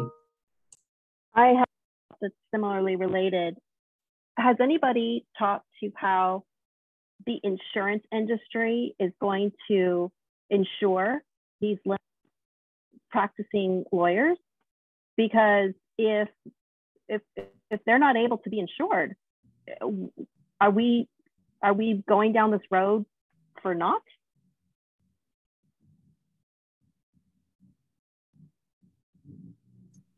Yeah, I mean, I, I, I will answer that. Um, I think we are we are going down this road in an effort um, to come up with some other possibilities that we think can be validated. Um, part of that validation, um, in addition to some of the uh, issues that uh, Tracy and Dr. Henderson have brought up uh, would be specific to um, insurance analysis and otherwise. So, you know, I, I'm not, um, I would be happy to add, uh, uh, you know, uh, insurance, mandatory insurance into a um, recommendation, but I, um, I'm pretty comfortable that the Supreme Court would not be moving forward with something if it didn't have the ability. Emily. Uh, just uh, so I, I think this is going back to Tracy's point about like maybe having some broad recommendations, but not exactly putting all of the the dotted i's and cross t's and all of that. Because I, I guess with choice A and the capstone portfolio, I worry about somebody that's working, you know, in-house tech versus somebody that's working, you know, direct client services, family law, and like those two having to come up with a summative capstone portfolio that is scored by a regulator and presumably meeting the standard that standard. Um, and i guess there's probably a way to do that but it just seems like that's going to be a, a, really big difference in the work product. Um, but hopefully you know gosh not not the skills they're getting. Um, and then i would say with choice b maybe I, I, guess I'm wondering, and I and I, forgive me because I don't remember this, but was Choice B sort of designed to get at that issue? Like, let's make sure that all of our people that are doing this pathway are having some continuity of instruction, and you know, it like having those in-person workshops. Um, so I guess those are a couple of my thoughts and questions. And then I would say, um, you know, if there is sort of an open book assessment that we could create that is based on what we had hoped they would have gotten over the you know 1200 hours or whatever it is then that seems to me to be um, inviting a, a question of well why don't they just take the bar exam? And at the same time i still like the idea of having sort of that end end type of assessment where they've really got to think on their feet and and take what they've learned in those hours and apply it so I know I'm all over the place, um, but I um, I would like to come up with if we if there is a way to talk about like broad strokes what assessment is best. I don't necessarily know that, but Tracy's now raised her hand. I've talked so much, so that would be great if somebody, not me. real, real quickly, Tracy, sorry, but just with choice B. So the idea with choice B is it, it's very structured you're going through some of it with online modules, which can be really competency based, right? You can go and, and redo some of those modules and then you do a certain amount of in-person uh, stimulated law firm in-person workshops. It's similar to what they called PREP in um, four of the Canadian provinces. British Columbia has a different version of that. And then the law practice program in Ontario has like that structured training course for four months and then work placement for four months. So it's something um, a lot more structured with more goalposts um, than than um, maybe just the capstone. Sorry, go ahead, Tracy. That's okay. So I, am going to just join in with Emily and, and again reiterate how how do we make this standardized and comparable to a summative exam that's going to be on the other pathway? I mean, um, look at all the work that's going to have to go into determining the capstone portfolio for that individual person and their non-exam pathway. The same thing with choice B. Choice B to me sounds like exams that you take in school. It's almost like we're modeling um, what you do in an academic program. Um, not being a law school student myself, but um, the whole idea of licensure is you create, you, you go through your education, your training, your supervised experience, whatever your requirements are. And then at the end, you demonstrate entry level competence in one manner or another. And um, it's not intended to take a bunch of prep classes and pass those and check those off. That's what you're doing to get ready for the end all summative exam. Um, so again, I, this is where I'm struggling with the non-exam pathway. I love supervised experience. I think that's great. for our our boards that utilize that because they get that real world experience rather than just sitting in and listening to lectures or, or whatever it may be. Um, so again, that's I'm just I'm just struggling with some of this. My my point. Thank you. Tracy, before I, I move on, can I just ask you, is there a, um, uh, I understand the struggle uh, with the summative assessment portion. Is there um, any kind of, because uh, I think I've heard you at other meetings talk about uh, the fact that you like the practicum and you like the, the um, kind of uh, uh, real world um, testing that would go on in it. Um, is there a process that we could create that would give you comfort around those? Um, well, you know, again, I like the supervised experience having that a piece in there. Um, I think that. How does it culminate that supervised practice? Because I think we all agree, or at least, you know, whether yeah. whether you like this or not that that's important and then yeah. it's like when you're done with that how do we show that there's equality or some sort of equality in that supervised practice where there's a culmination and people feel like they learned what they needed to learn yeah and and that's the part i i don't know other than an exam because that's what our programs you know do here at dca they they have an exam which is is part of that exam pathway i i think that the and I'm going to go back to earlier comments, it, it, would be nice to see the current exam restructured. Um, I, I, think that there are opportunities to have an open book assessment part that, um, and then more of a, a scenario based multiple choice. Um, but really keeping it at a high level and so that individuals don't have to take a year to study. Um, but again, it, it, I don't know about spending the time to do the two full pathways because again, to, to capture that real world experience, um, to make it equivalent to an exam, a true exam pathway, it would have to be a very comprehensive exam, which may not reflect on the knowledge skills that those individuals took through supervised practice. So I'm not really answering your question. I just, I'm, I'm, I'm not sure how you would get there with that. It, it would be a different exam. Dr. Henderson, I don't know if you can, you can add to that um, because there's that knowledge content piece. You might be able to get some skills and abilities that you can test through that supervised experience, but it sounds like the focuses are so narrow. So then how do you make sure that the content is the same as that exam pathway?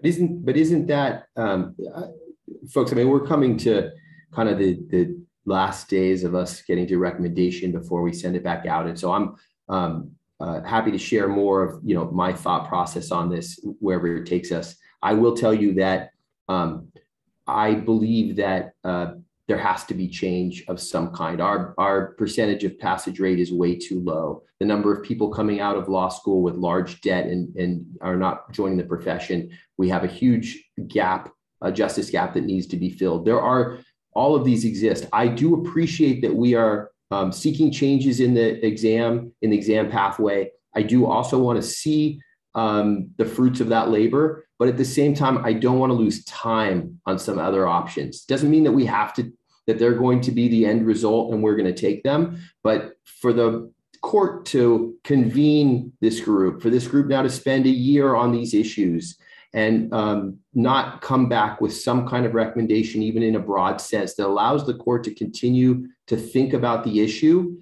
Uh, that's a time that I, I would rather not waste. So um, I appreciate Tracy that, that that's a really hard question. I agree that it is. Um, and if there's a way we can get you there with some real specific language about reliability, um, and and uh, I would I would uh, I would ask that you think about it. I definitely will do. And if I may add real quick, I agree. Passage rates are too low, and and students and candidates are struggling. So I wholeheartedly support something to make some changes. So I want to be clear about that. It's gonna it's gonna be a a, a, a, a test and it's gonna be slow and um, but I think it's uh, it's time to at least think about these things. Natalie. So I, as I'm sitting here and listening to everything, I, I think we're all struggling with what will this look like because it's something that we have not experienced, right? I'm looking at who's on here. Most of us are lawyers, went through the California bar exam, an exam we all agree isn't working. So for us to continue to compare it to that really doesn't make sense. We we don't want that anymore. We're we're trying to propose something different. I I don't think we have to go to the court with this is exactly what this non-exam pathway will look like. I think at that point, if we can get to, we want to explore this alternative, the court will bring on experts in that field that can design it so that it can be valid and reliable. I don't think any of us are proposing a non-exam pathway that wouldn't be that. We just don't have, or at least I should say, I don't have enough knowledge or experience to say, and these are the details that will ensure it is reliable and it is valid. But surely someone has that experience and could come up with that. That's just not for me or for this group, I think. And still, we would be able to do our job as we were commissioned to do. Thank you, Natalie. Mylin? Well, I agree that we don't have to have all the details hammered out. I do feel that we need to, as we go through the process, think through some of these choices, these smaller choices, because we need to. There are people watching, there are people listening, and there are people who are resisting the concept because of what exact what Priya said that there's a there's a lack of understanding, and so the more that we consider and um, think of ways to make this a valid pathway, the better, the more we have um, stakeholder engagement, as she mentioned. Um, with that in mind, I want to just say one last thing about the um, as you go um, version that I articulated. Um, I feel that the least valid aspect of our current system and the most discriminatory aspect of our current bar exam is the fact that it is this high stakes, two day, all or nothing um, test that people are just, that, that has nothing to do, very little to do with the practice of law, and that people are not passing because of imposter syndrome, because of anxiety, whatever it is. And so my, um, support of the as you go is um, is to address that. I am not saying we shouldn't have summative assessment. And just as a reminder, summative assessment is evaluation of knowledge and performance, right? It's it's um, I'm saying that would happen as you go. To me, if I so I teach a, a clinic that first semester 2Ls take they learn how to do a client interview. If I give them a summative assessment of their ability to conduct an initial client interview and they pass that, I don't see why they need to redo that later as part of a you know very high stakes um, performance, bundled performance. So I guess that's my last um, plea to, to consider that. Alex? Yeah, I got a question just for everyone to think about. How do we ensure that the portfolio consists of work done solely by the applicant? In the real world, especially in litigation, most, if not all work products, whether you know trial briefs or motions, go through rounds and rounds of iterations involving contributions by either a supervising attorney in a solo shop or multiple lawyers at a firm so what mechanisms do we have to ensure that no no work submitted is done by someone else, which then sort of conflicts with the notion that all the work must must be supervised by another attorney under this proposed structure or paradigm. I, I see a tension there. If you know an applicant can submit work done by someone else, then what is the whole purpose of this condition? I thought, uh, Audrey, this has come up before. and we have addressed it, I just can't remember, or how other jurisdictions address this. We, we, uh, we talked about, I think Alex, I think you might have brought it up in July before about um, how do we ensure that the work product is the applicant's work product. Actually, I think I brought it up, but anyway. Oh. um,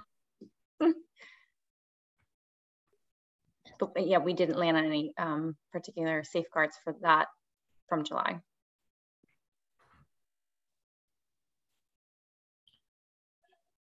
Does anybody want to um, uh, think about or address that? I mean, I think one thing we discussed was that um, the uh, work would be um, approved by um, supervisor at the time. Attested so to by, yeah, the applicant did test and the supervisor would attest that it was their work product.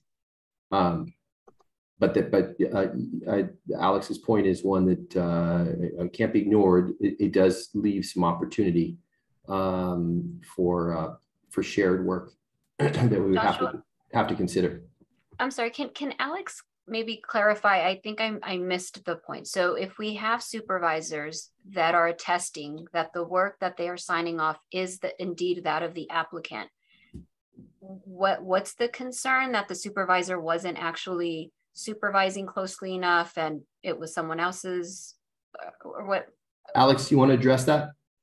Yeah, I mean, let's talk about real world um, practice, right? You have a brief, you have a motion, it goes through rounds and rounds of iterations by different attorneys. It's almost nearly impossible for a single work product to be done by the applicant himself or herself, right? The fact that the supervisor looks at it doesn't really do anything. I, I would, I would think supervision requires right learning and, and developing the, the applicant into understanding the law the facts and how to apply the law to the fact, right? That's sort of the, the part of this collaboration process. So my, my concern is it sounds good on paper that supervisor may be able to attest to that, but that's not really aligned with the real world practice. And I'm not entirely comfortable for anyone to be able to say, yes, this is the work product of an applicant, because again, and, and uh, at least I'm talking about litigation only. I don't really understand how, how that could even be possible, that you have a brief emotion done by an applicant and no one else. I mean, have everyone thought about that? Is that even theoretically possible? My yeah, you want to address that? Yeah, I guess I, I'm thinking my assumption has been that as part of this supervised practice experience, the individual would be given unique assignments. So related to kind of the experiential requirements. I'm just looking at Ontario's now uh, very thoroughly laid out that there would be assignments associated with these competencies, and those would be the ones that would be attested to. Um, and they would be submitted as part of the capstone. So I think it would not be just treating the supervisee as if they were, you know, just anyone else in the practice doing group work they would be getting independent assignments. Sorry, just to jump in here with with law current law students that need a writing sample, they always do after their first year, and the employers that employ them in their first summer know this, and so they work with the uh, student to make sure that they can do something during their summer that is their own work. Um, and yes, it's probably provide, there's some advice given from attorneys about, you know, just as we have for, for our educators. But I think that Leah's right that you could have a situation where this is part of the portfolio. We know that this is going to have to be attested to by the supervisor. So this is going to be one you do on your own. Maybe it's the third motion for summary judgment that somebody has done and you know they've already had two practice ones and that's the one that gets submitted because it's their work. But i see your point alex. I do because i worked in litigation for six years and yeah it's like round robin with those motions but you could carve out something specifically for the pathway. I mean, we also would have the option of, uh, if we so chose, uh, of having a you know capstone um, that also uh, that included at least one in person so we could do a hybrid of, of kind of the two options that are out there. Um, so you would have a supervisor signing off on uh, the work as part of this capstone that it was done by the individual, uh, and then some kind of uh, in person uh, that could be that, that whether that's a uh, uh, you know, simulated um, event. Uh, Dr. Henderson. Thank you. I, I do want to underscore the importance of uh, having the uh, capstone work done by the applicant. I have had experience with um, orthodontics and the residency programs there leading to the board certification exam in orthodontics. Um, the, and the, the issues were that, uh, and maybe this is part and parcel of what it is to be an orthodontist as opposed to an attorney, but um, it takes a year or two years for uh, tooth straightening to uh, be completed from start to finish.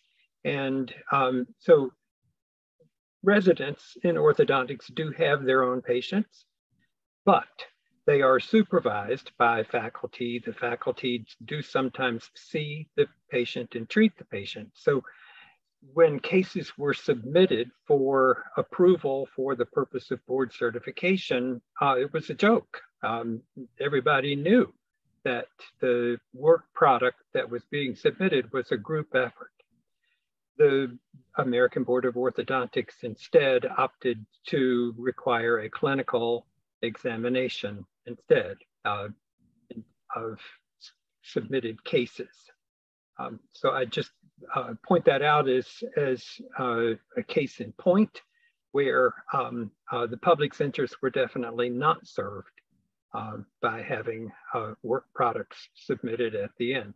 It's not that it can't be worked out. I think some of the suggestions, Emily was pretty specific a minute ago about having the third instance of whatever the thing is be the responsibility of the individual. Without that, we can't say that the uh, capstone assessment is reliable. We're not going to be able to say that it's valid, uh, that the scores achieved on that are valid assessments of the proficiency of the individual. Uh, it would just be a total uh, exercise in futility as far as um, public uh, service goes on all of that.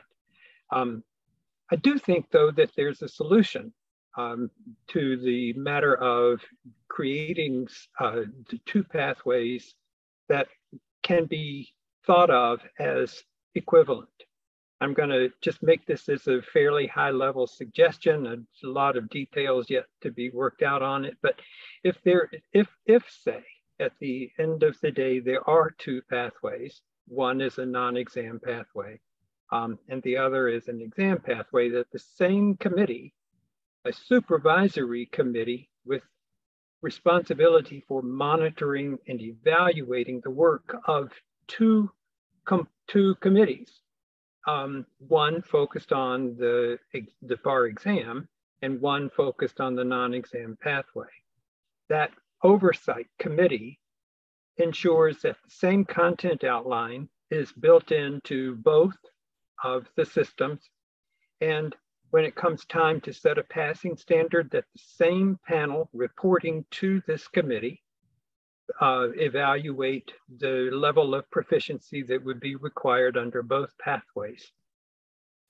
Um, there's a lot more that could be said that would be the responsibility of this committee. I don't want to dominate the discussion with that, but I think that um, some administrative procedures can be put in place that will go a long way toward ensuring the equivalence of the two programs if we can work out some of the details and it's really it's really hard to say that we can support or not support a non-exam pathway until we know what it looks like um, and what the uh, likely psychometric quality of both uh, will be. But I think we can put together some structure for the development of the non-exam pathway alongside the bar exam that will um, help to ensure um, at least the, a lot of the measurement issues are resolved. That's all I have to say. Thank you. Thank you, Dr. Henderson. Karen? Yes, I'll be brief. I largely, I, I the, the previous comments I resonate with me a lot. Um, I, and I just want to underscore, particularly given the level of interest and um, sort of uh, thoughtful debate that we've been reading about, that we've been hearing about, that whatever direction we end up going, um, we are prepared to explain how a second pathway can sort of achieve the levels of sort of excellence and sort of equivalent standards and the same level of integrity that the exam pathway does. Um, and, and we need to be able to explain, I like the idea of maybe a committee that oversees both and can standardize, but, but, but there needs to be a level of transparency about how we're achieving those qualities because the public is, is not going to perceive this as a step forward unless we're, we're capable also of um, showing our work. And and that maybe adds a level of difficulty to all of this but i just i, I don't want to overlook that. I personally i am um, i think the furthest i could go right now is to continue to to keep the conversation going um, that that you know and recommend that we keep the option open I, am not yet comfortable for some of the reasons Alex says and, and others have raised that that this is that we can we can reach the equivalency and integrity standards both ways. But but I my mind remains open on that. I just haven't seen it candidly. Thank you. Charles? Thank you. Uh, first, start off by saying that I agree with a great deal of what was just said about the issue of uh, creating a dual systems and proving to the public that we'd be able to implement them in a fashion that protects their interests by producing equivalent quality attorneys through both paths. Uh, there was, as you mentioned, Joshua, a option at the last session that seemed to indicate a sort of hybrid approach. There was still some form of um, examination at the end of the path to licensure. But to my perception of the end of the last session, that seemed to be fairly roundly, roundly rejected.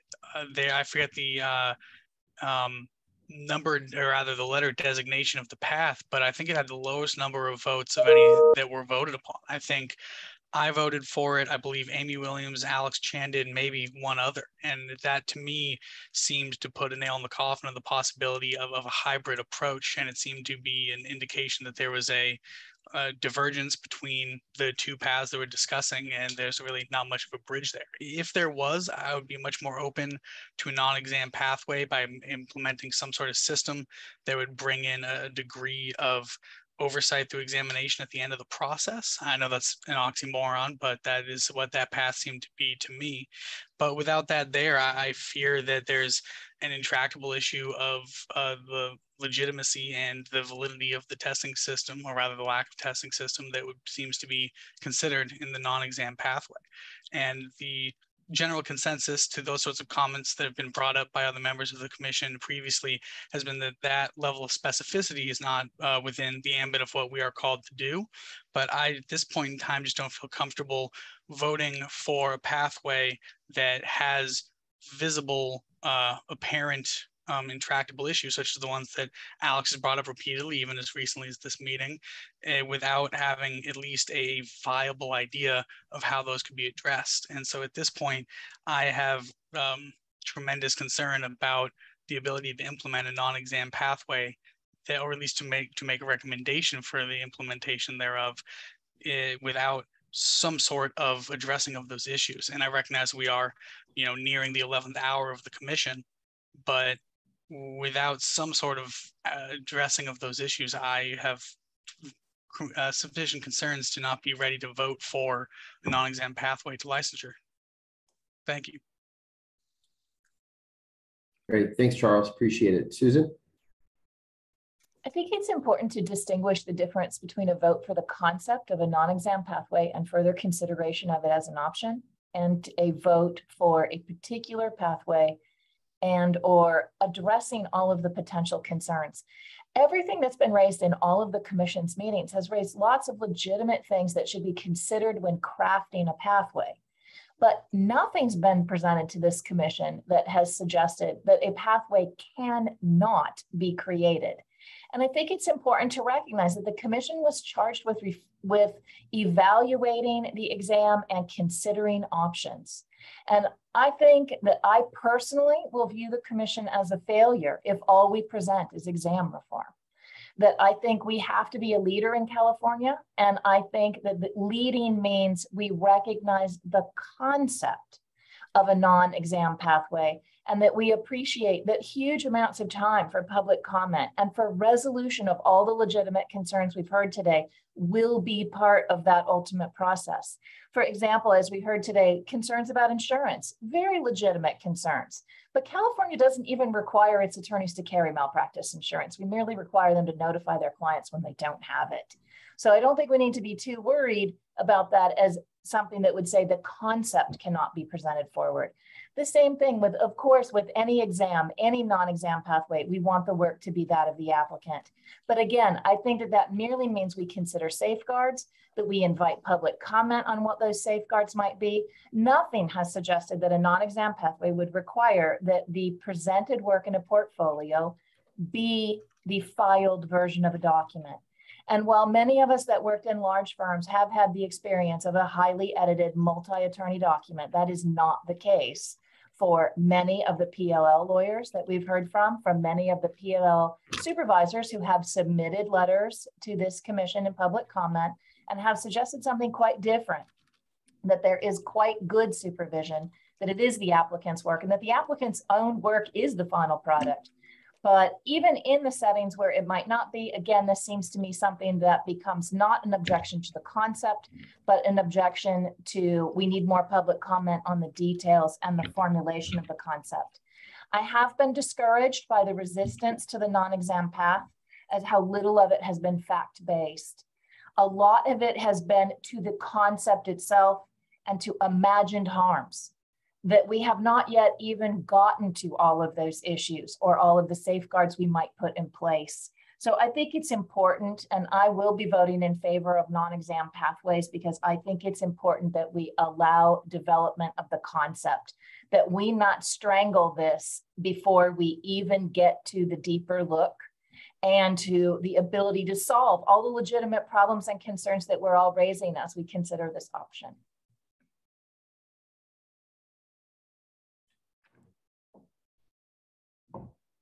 Additional thoughts, comments?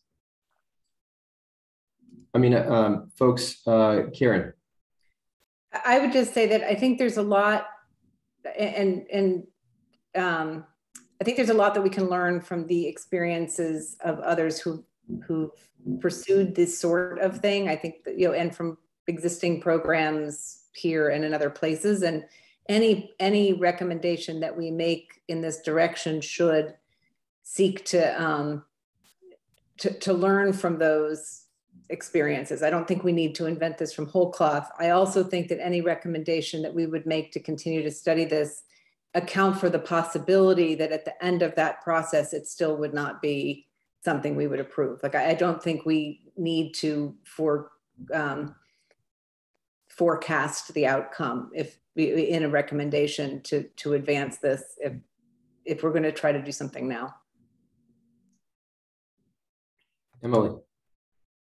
I just wondered some food for thought if if our recommendation on this could have something some some alternatives um, like you know a uh, uh, non-exam pathway would be available to students who, or to um, applicants who have taken the bar once and not passed it right? So it's not an initial one, but you could do it after you've at least tried the bar exam once or twice. And I, am not advocating that. I'm just wondering if if that's a recommendation. One recommend part of a recommendation could be that we recommend that the non or that the exam pathway and the the exam new exam that we have um, asked or recommended to be created be sort of the first work done on this particular problem and that after 2026 when we have the next gen bar exam we hopefully have our california exam and i know it may not be then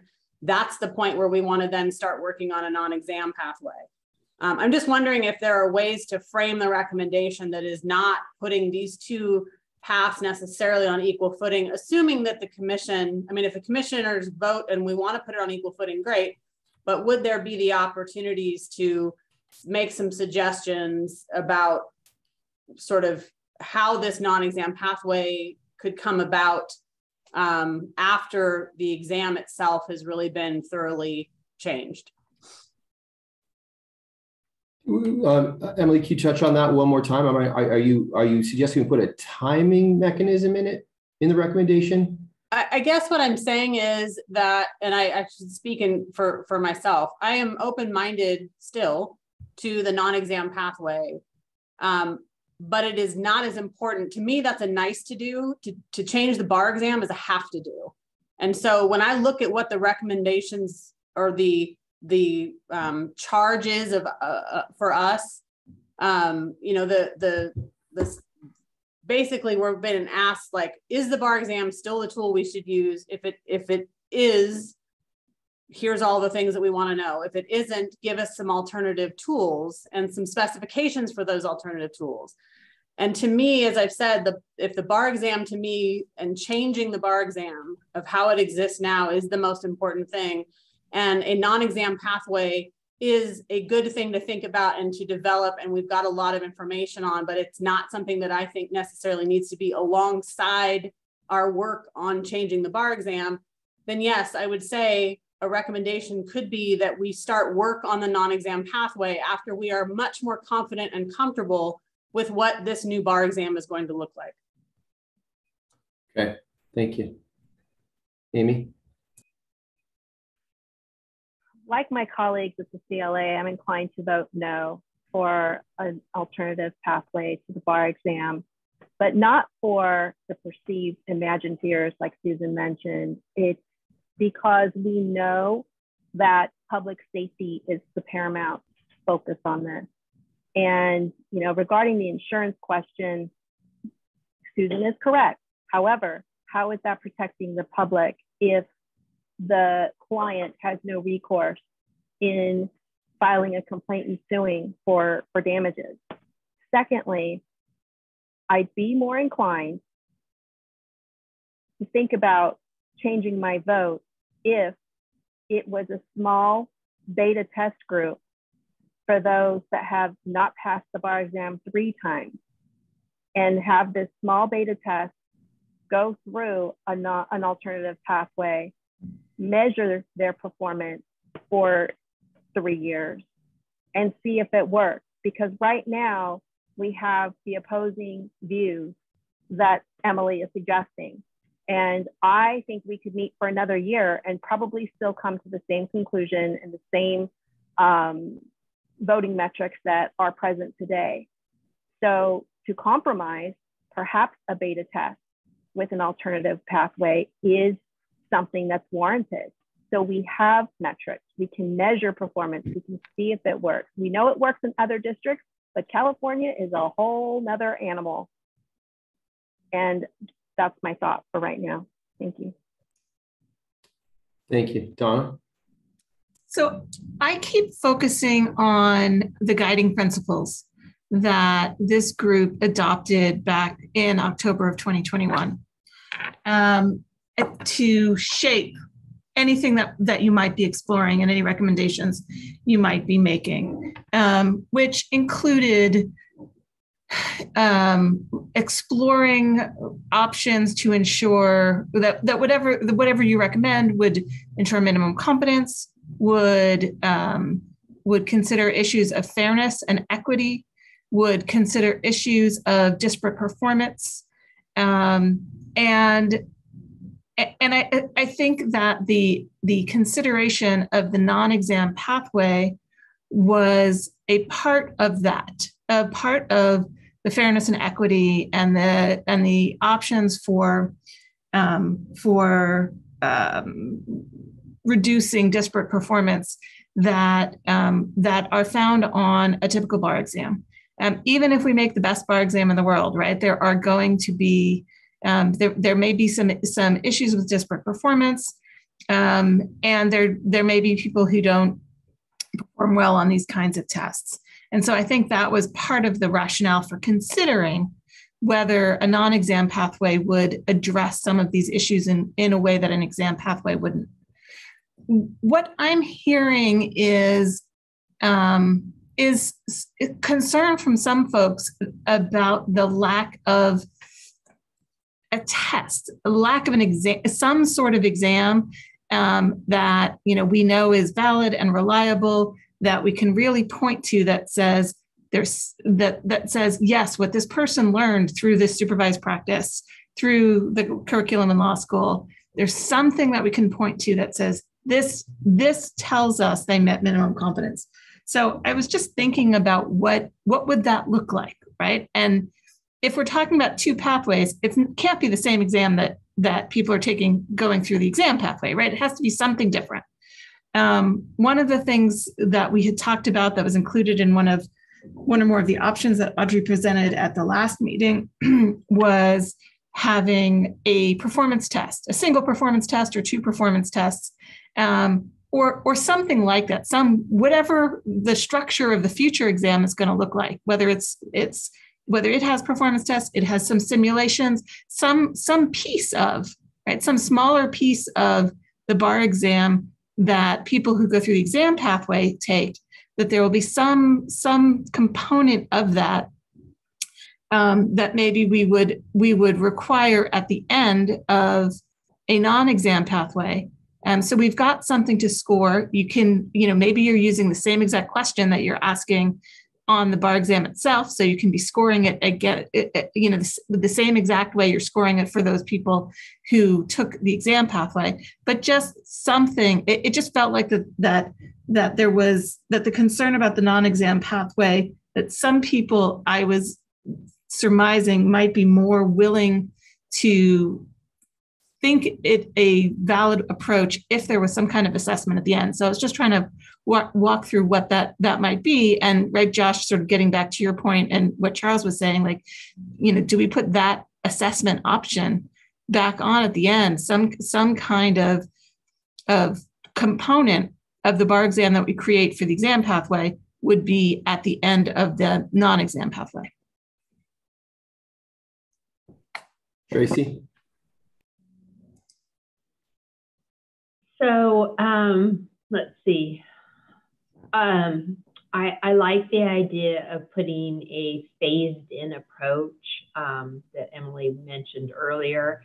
I think, uh, again, I'm on the fence with the pathways, but I'm trying to be very open to the non-exam pathway and thinking again if the exam pathway could be more fully developed and as that is being developed there is um, the non-exam pathway that that comes along afterwards or, or as it's being completed and again working with those uh, properties that need to carry over into the non-exam pathway I also like what Donna mm-hmm. said is some sort of assessment at the end.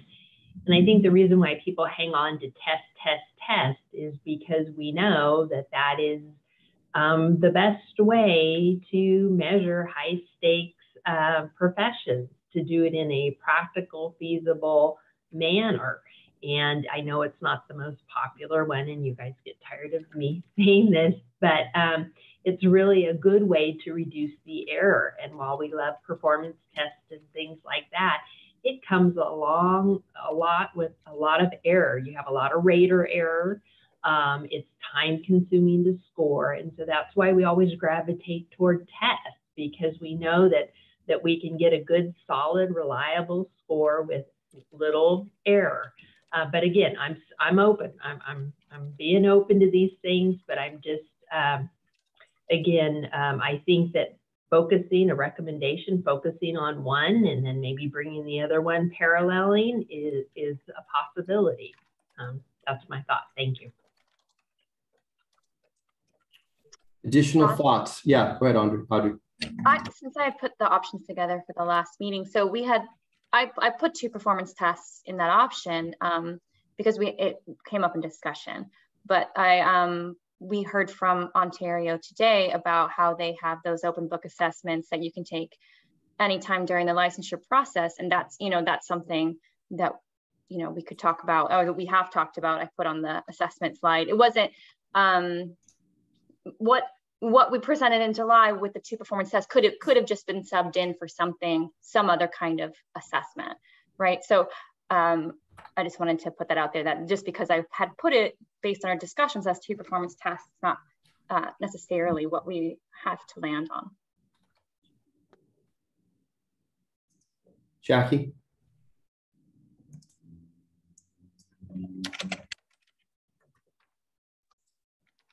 You're muted. Classic.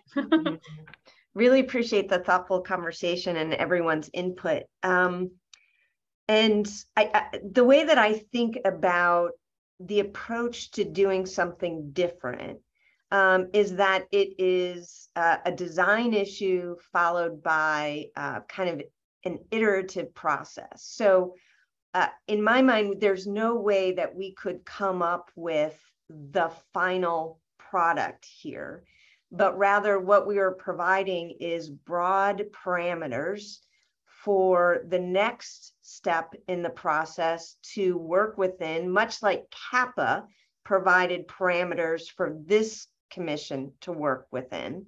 Um, and that there would be um, both a design element that would have very specific uh, design and reliability and validity, validity factors built in, um, and that that would be the next step in the process.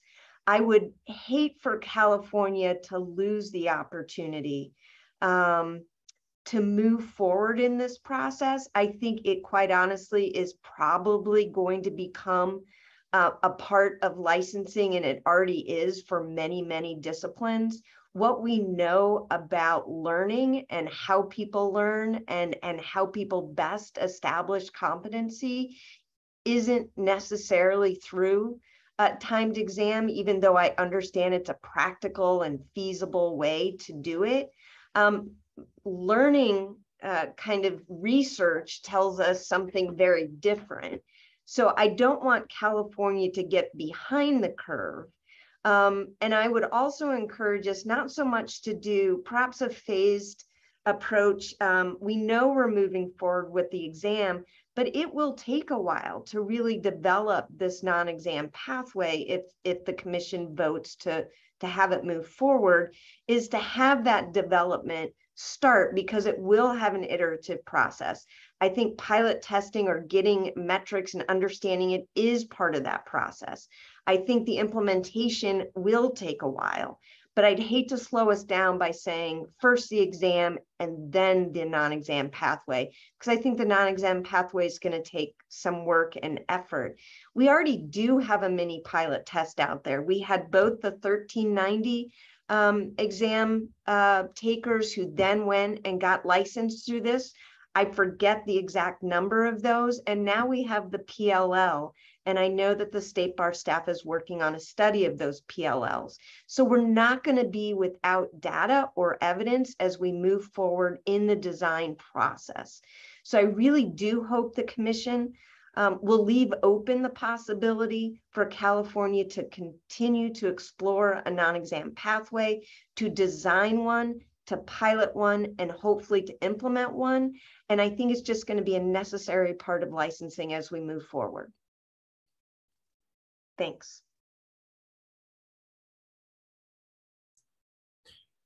Okay, folks. Um, Susan has her hand raised. John. Okay, take one more. Susan. Sorry, Josh. Just to add one point to, I think Donna's comments were important to bring, bring us back to the guiding principles. And as much as exam and exam reform is an important way to meet the Supreme Court where they have asked us to be, which is diversity, equity, and inclusion, we know exams do not do that. And even our reformed and better exams are not likely to make our bar mirror our population in this state in a way that's meaningful. So I hope that we will take that guiding principle of diversity, equity, inclusion, fairness, and that we will hold on to a non-exam concept as a way that can do that in, in parallel with a reformed exam and that we don't have to choose and we don't have to rule out options when we can have these phased processes. And that's what we've done in the past. And I believe it's what the Supreme Court will likely do going forward here too. All right, folks. Um, this is what I'd like to do. We're going to take a break. Um, we're going to um, uh, let those who need to get something to eat here. Um, we're going to come back um, in 20 minutes, um, and we're going to um, hopefully have a uh, a resolution to at least look at and kick around and think about. Um, and we can have an alternative resolution that says we're not moving forward with the non uh, with the non-exam pathway um, if uh, if that's the direction that we uh, choose to go. Uh, but I do think I, I, just will be maybe it's my optimism, but I feel like um, there's there's there's a misconception that what we're doing here is passing something that none of us have the skill set to do. I apologize for some of the academics. I don't have the skill set to do. But what we are trying to do, I believe, is come up with like some guidelines that we want people to look at and consider um, and think about uh, as we move forward with with the California bar exam. So um, let's come back in what would be 124. Um, and I promise you I'll have you out by two o'clock. Thanks, everyone. Talk a little bit.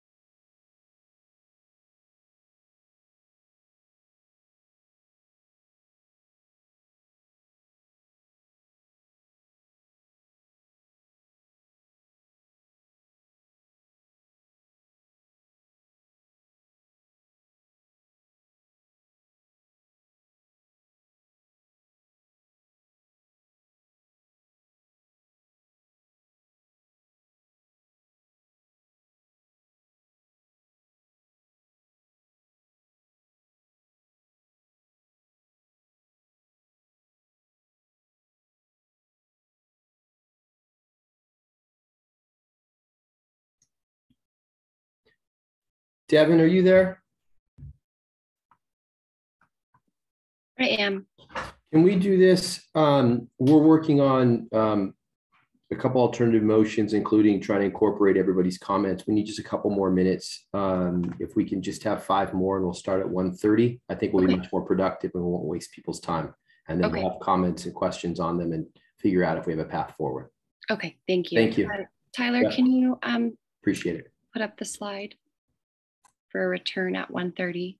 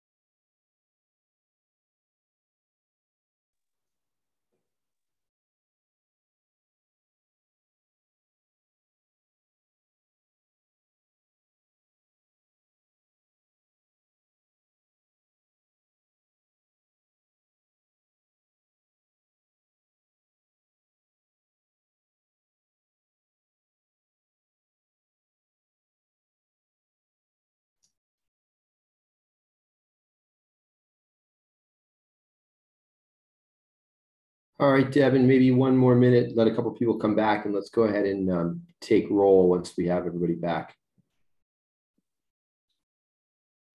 Looks like we got uh, probably have a quorum at this point. Okay, um, let's start with uh, Joshua Perttula, Here. Susan Bakshian, Present. David Boyd, Here. Alex Chan, Present. Charles Dugan, Here. Jeremy Evans, Here. Jackie Gardina, Here. um, Dr. Henderson, I'm here. Esther Lynn, Here. Tracy Montez, Here. Natalie Rodriguez, Here. Emily Civiletto, Here. Karen Silverman, Here. Mylan Spencer, Here. and Amy Williams. Present. We have a quorum. Great. So folks, um, what we attempted to do was to put together um, a resolution that we staff felt based on the comments that were made during the conversation would encompass um, what was the closest to consensus we could get to. Um, what I'd like to do is, uh, if we're ready to, Audrey, is to share that resolution. Um, and then if we're comfortable with it, someone can make a motion uh, we can take comments on it and um, make any kind of changes that we see necessary and see if we can't get to consensus. If we're unable to, we can then go to an alternative motion, um, which I'm open to um, anybody wanting to make, including uh, a motion for no uh, exam alternative. Um, see if we can get a second on that and move forward. So Audrey, why don't we start with you? Okay, I'm going to share my screen and um, thank you for bearing with us making this in real time. um, okay, proposed motion, and it's it's long capturing the conversation today. The Blue Ribbon Commission recommends the State Bar Board of Trustees and the California Supreme Court that California explore a non-exam pathway for licensure to practice law. It is recommended that this exploration of a non-exam pathway have a significantly increased focus on assessment of skills, along with the application of knowledge and performance of associated skills for entry-level practice de-emphasizing the need for memorization of doctrinal law. The precise elements of a non-exam pathway should be determined in consultation with experts, including psychometricians, to ensure the pathway represents a valid and reliable pathway to licensure. It is further recommended that the non-exam pathway shall include the following elements. Law school. Any applicant interested in availing themselves of a non-exam pathway would need to complete at least six units of experiential coursework in law school that covers CAPA skills and abilities However, serious consideration should be given to increasing this experiential edu education requirement. Supervised practice. There shall be a post-law school supervised practice requirement. The exact numbers of hours required remains to be determined with the goal of consistency with the exam timeline to licensure. Mandatory and structured supervisor training to be developed by the regulator shall be required in order to provide consistency in the supervised practice component and ensure that the supervision continues to emphasize the skills and abilities necessary for minimum competence.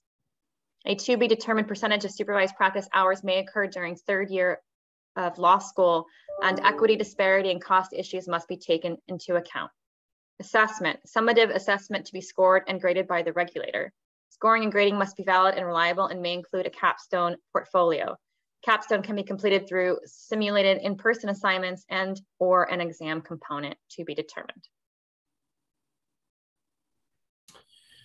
Okay, uh, Aubrey, why don't you leave that up? First, let me ask um, if there are any comments or thoughts on the first reading of this, um, any suggested uh, uh, changes, um, or if there's any kind of um, uh, agreement to where we are. Yes, uh, Dr. Henderson, please.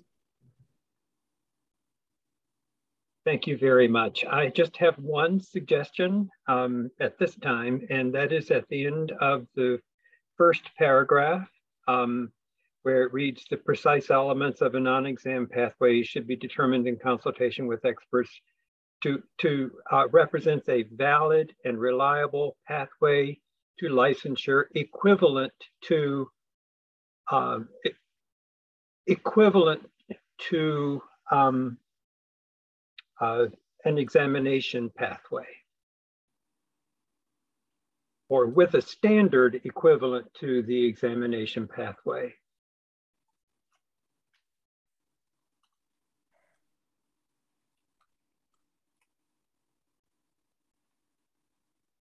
That's my suggestion. Uh, thank you. Uh, Neil? I was just going to say, in terms of the first paragraph, you know, CAPA focused on KSA's knowledge, skills, and abilities. So I don't know if we want to rephrase it to say with the application of the knowledge, skills, and abilities uh, for entry level practice or something like that.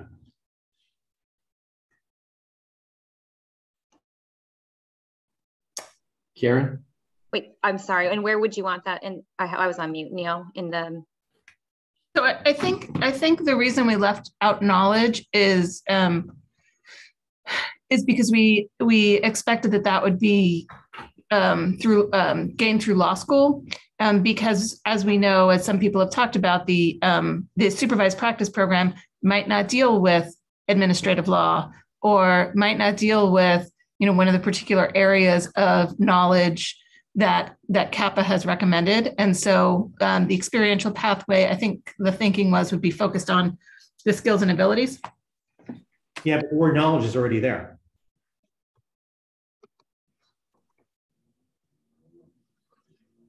I'm just saying the application of knowledge, skills, and abilities for entry level practice. And just just to line up with with with, with CAPA, right? CAPA speaks of KSAs.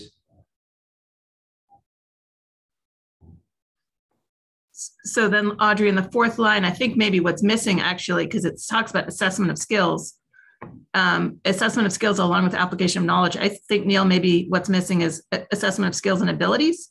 Yeah, I mean, again, CAPA speaks of KSAs knowledge, skills, and abilities. So one line up, Audrey, right after skills, add abilities.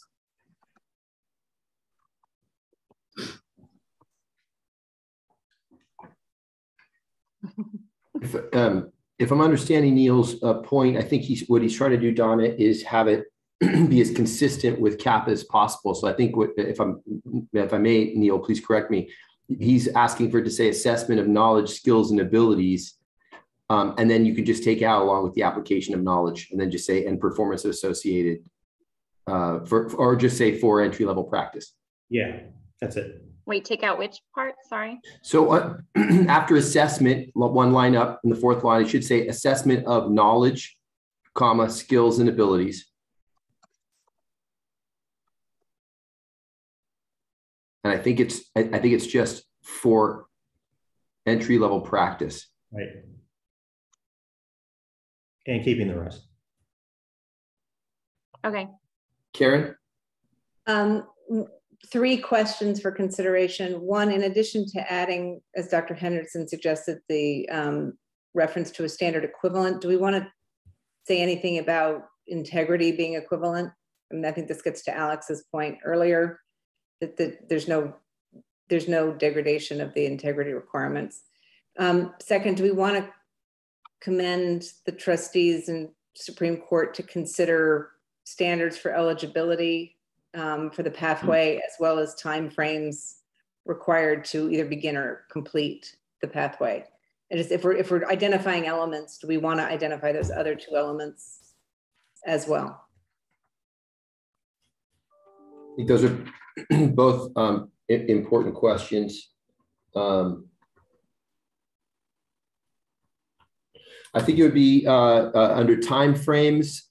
Um, I do think that it would be useful to, even if it's in a broad sense, um, to make sure we uh, address it.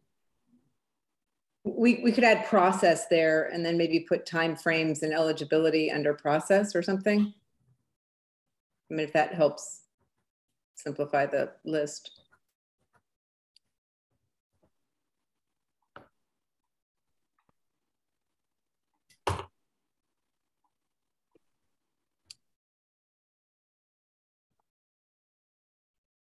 I think the idea here is that that, um, those two issues would be identified through the exploration. Um, I'm going to let Audrey or Devin, I think it's Audrey that's doing it, um, play with that for a minute and go to Emily. Uh, so one of my suggestions is to take out the phrase non-exam pathway and uh, exchange it for alternative pathway. And the reason is that we've talked about possibly doing a performance test or some sort of actual exam at the end. So I don't think it actually is a non-exam pathway or has the potential to maybe not be. I also think that that opens up a little bit um, if we are going to explore this. So on the on the first sentence, so yeah, a, an alternative pathway for licensure. It's recommended that this exploration of an alternative pathway have a significantly increased focus on et cetera, et cetera. The precise elements of this alternative pathway should be determined, et cetera, et cetera.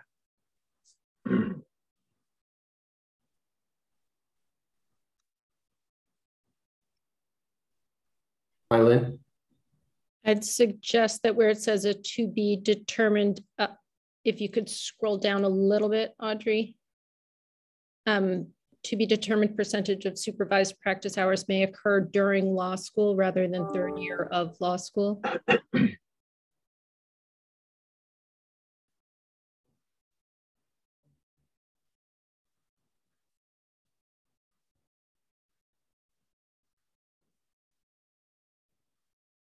Dr. Henderson? Thank you. Um, just uh, given uh, Emily's suggestion uh, at, in the first line, or the second line, uh, where it says an alternative pathway for licensure, alternative to what? So uh, maybe to explore um, uh, a pathway. I, I don't know how to, I don't know what words to put there, but to it begs the question, alternative to what? so um,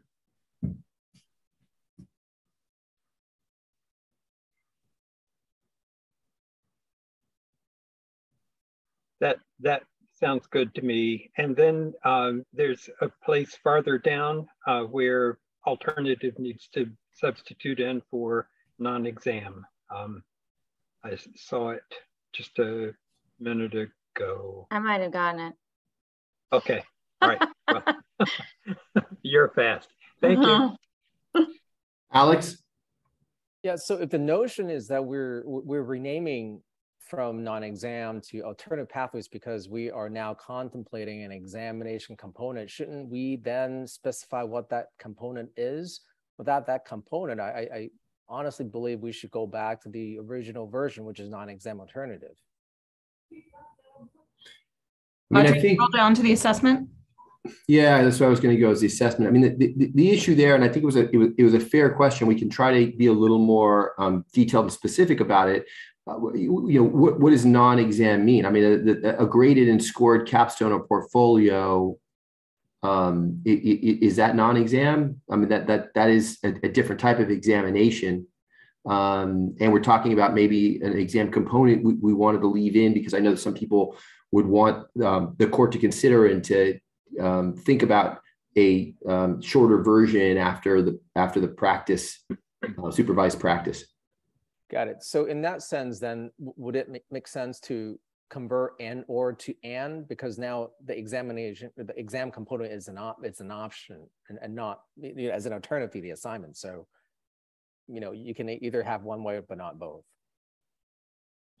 Um, I, am I'm, I'm not sure I'm following that. So uh, on, under assessment, capstone can, can be completed through simulated in-person assignments and or an exam component. If, if um, the group that was uh, of experts that was implementing believed that they could, through a capstone slash portfolio, uh, meet all of the other requirements without it. Again, the board exam component is interesting, to your point, um, because I think it's all an exam. Um, maybe we need to just be more specific on the word exam. I agree with that, but I, I, certainly would not consider a capstone portfolio as an examination because there's nothing, nothing that is being tested, right? The applicant is only submitting their prior work for for for to the regulator for for grading and scoring, but I, I just don't consider that as an exam. But anyway, I, I, I think I think the idea is there. I don't think it's just the capstone. It's also the very first bullet point under assessment, which is summative, summative assessment to be scored and graded by the regulator. Yeah. That in and of itself could be in an exam. It doesn't have to be the capstone. I'm not, if, if we're saying we don't want an exam, we want a true non-exam pathway, then we should recommend that. But I don't think we've heard that, so. Yeah, I think, I think we were, I think we're looking for a, uh, I, um, Alex, I think we're we're a little bit in semantics on this one. I mean, it, it, the third bullet point, the intent was actually, um, I believe, addressing some of the trying to address some of the concerns that you had, which is that um, the capstone um, would be completed through simulated in-person assignments, so that you would actually know that that that was the individual doing at least a portion of it, right? They, should you, you, should have that through the the um, supervised practice and the um, the supervisor um, attesting to it, but nevertheless, there was some, and I know some people still uh, like the idea of having some smaller um, written exam to, uh, at the end. And so I, I think that um, including that as a possibility that can be explored uh, makes sense. And so maybe there's a, a more descriptive language on the uh, exam comp- and or an exam component um, because it does make it seem like everything else isn't an exam component. And I think that's not a true statement. Understood.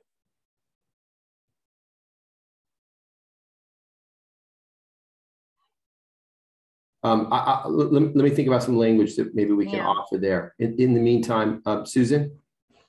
I was just going to offer some language, Josh. Yeah. I think that what Please. might help is in the assessment component, we all of a sudden went to more specific language. Maybe we need to return to the language we started with, which is exploration of and that we will cons- and that you know the assessment would consider these things and instead of saying capstone can be completed maybe we need to say the capstone exploration can include or something you know just maybe we need more explore language less can.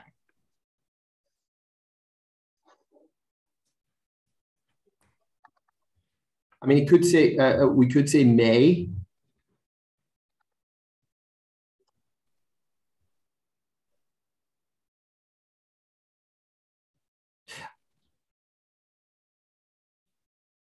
what, what about this? Um, how, how, about if we go instead of using the word capstone in the third bullet point, what if we go back to just the assessment and say the assessment may include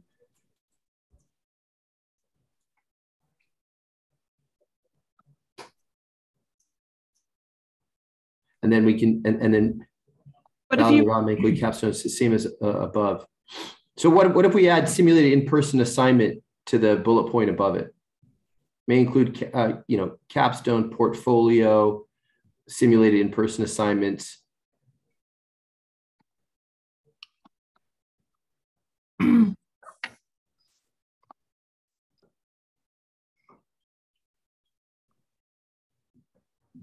then we need to do something with the the and or an exam component.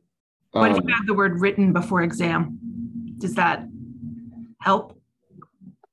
Or proc proctored? I think, yeah, no, no, I, I, I, I um, yeah, I think written uh, may work. Although a lot of it's written, so it's kind of it's kind of a tough one. Do we need the TBD? I mean, isn't the whole idea that it's all to be to be determined? Should it say summative assessment may include a capstone portfolio simulating in-person assignments and or a written exam component and then separate bullet scoring and graded must be valid and reliable and conducted by the regulator.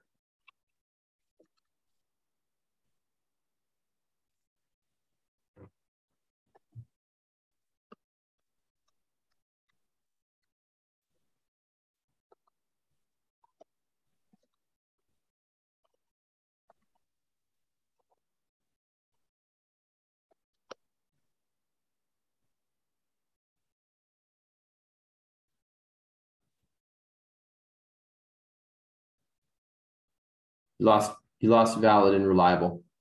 Oh, where did I lose? Scoring and grading must be valid and reliable and uh, uh, to uh, and conducted or to be conducted by the regulator.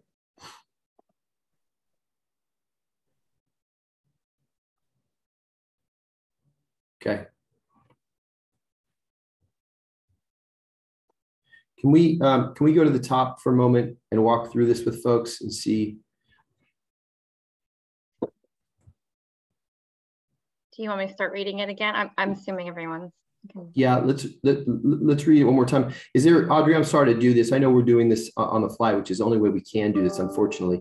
Um, is there a reason why exploration and explore one is underlined? I don't mind if they're both underlined. I think they're pretty pretty important to this group, um, or neither, but one no and not the other. Okay. Just to not lose the word, I think. Okay. Uh, okay. L let's let's read it from the top and and see where folks are. The Blue Ribbon Commission recommends to the State Bar Board of Trustees and the California Supreme Court that California explore a bar exam alternative for licensure to practice law. It is recommended that this exploration of an alternative pathway have a significantly increased focus on assessment of knowledge, skills, and abilities for entry-level practice, de-emphasizing the need for memorization of doctrinal law. The precise elements of an alternative pathway sh should be determined in consultation with experts, including psychometricians, to ensure the pathway represents a valid and reliable pathway to licensure with a standard equivalent to the examination pathway. I, I would like to have fewer pathway in that sentence, but that's okay. It is recommended that the alternative pathway shall include the following elements. Law school, any applicant interested in availing themselves of the alternative pathway would need to complete at least six units of experiential coursework in law school that covers CAPA's skills and abilities. However, serious consideration should be given to increasing this experiential education requirement. Supervised practice. There shall be a post-law school supervised practice requirement. The exact number of hours required remains to be determined with the goal of consistency with the exam timeline to licensure. Mandatory and structured supervising supervisor training to be developed by the regulator shall be required in order to provide consistency in the supervised practice component and ensure that the supervision continues to emphasize the skills and abilities necessary for minimum competence. A to be determined percentage of supervised practice hours may occur during law school, and equity, disparity, and cost issues must be taken into account. Assessment. Summative assessment may include a capstone, portfolio, simulated in-person assignments, and or a written exam component. Scoring and grading must be valid, reliable, and conducted by the regulator. And then I'm not sure, these are notes from um, Karen about the process to be determined, time frame to complete the pathway, and eligibility for the pathway. Um, can we just look time frame and eligibility? I, I, I, I do appreciate that we have a separate process. I, they may be able to be worked into the opening paragraph that might be easier, just process and eligibility to be considered. Is there, is there a, a see.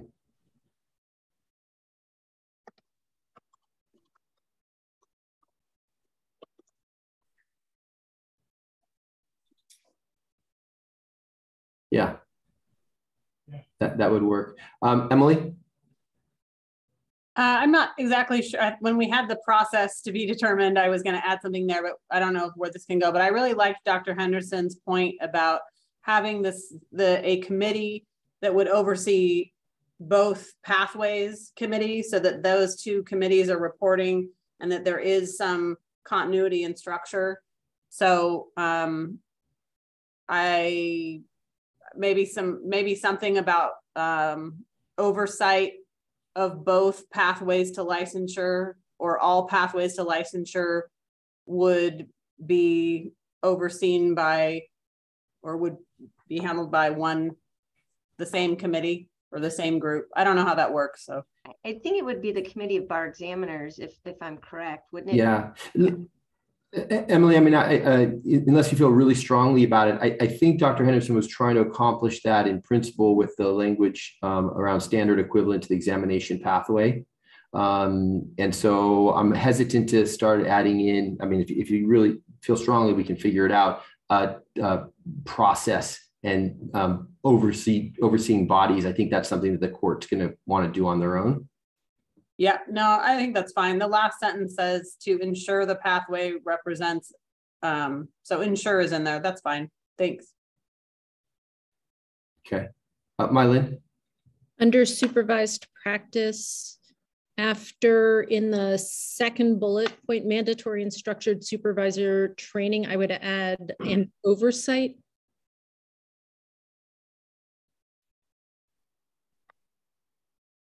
Great. Donna? Um, going back up to the first paragraph, Audrey, where you added um, time frame, uh, including eligibility and time frame for completion. I think that's time frame for, for development. Time frame for completion yes. sounds different to me. Well, no, hold on a second. Let, let, let's, let's take a minute on that. I think the comment that was made earlier was eligibility for the program and then time frame for an applicant to complete the, the, the process don. I think that's what was intended by it. So it's not open-ended you know can they take 10 years? Is there a is there a start and a finish? I think that's what was intended. Gotcha. Yeah i apologize. I i heard it related to a comment that was made earlier. That's where i was going. Yeah um, so is completion and that should i be more specific uh, that's how I that, that that's how I took it and thought that um, it was intended. Um, I think the comment was made by Emily. Mm, I think by Karen was it? Karen, maybe it was Karen. Karen. All right. Well, if it's inconsistent, Karen, with what you what you intended, please let us know. Dr. Henderson. Thank you. Um, I agree that there are too many pathways in that last sentence of the first paragraph. If you say um, to ensure the pathway is valid and reliable.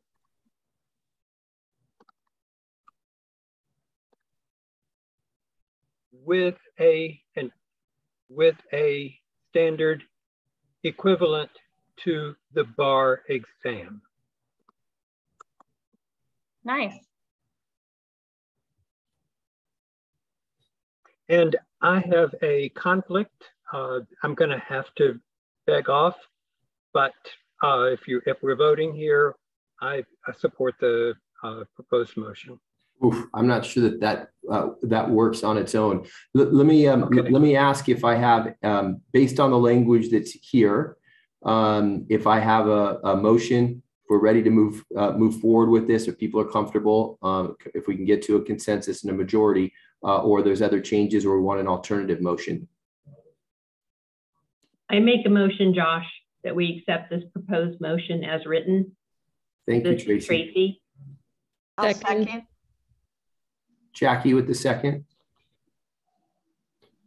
A roll call vote. Um, hey, Josh, Josh, can we have a discussion really yep, quick before the vote? Absolutely. Um, uh, Devin, hold on one second. Uh, Jeremy, we can have a discussion, um, and I'm sure if, uh, if you are interested that um, uh, we would uh, take friendly amendments also. Okay.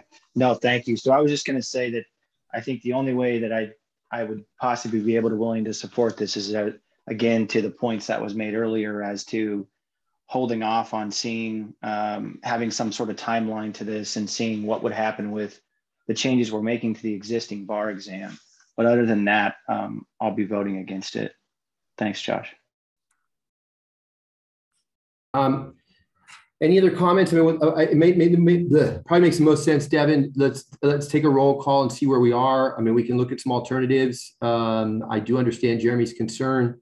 Um, I think that there is a, and I could be wrong. I feel like there may be a consensus to the, start the exploration uh, now. So at least we're in the midst of it. Uh, if that's not the consensus and we need to go to an alternative, we can look at that also. So let's go ahead and vote on the motion. Uh, Joshua Perttula. Yes. Susan Bakshian. Yes. David Boyd. No. Alex Chan. No. Charles Dugan. No. Jeremy Evans. No. Jackie Gardina. Yes. Dr. Henderson?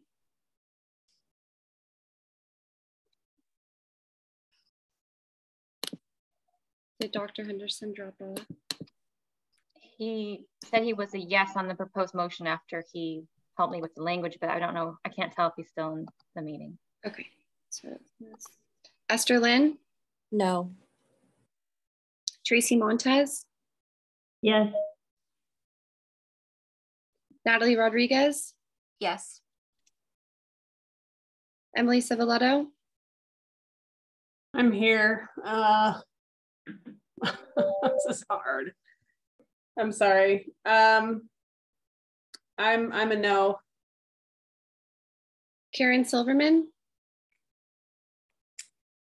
I'm with Emily.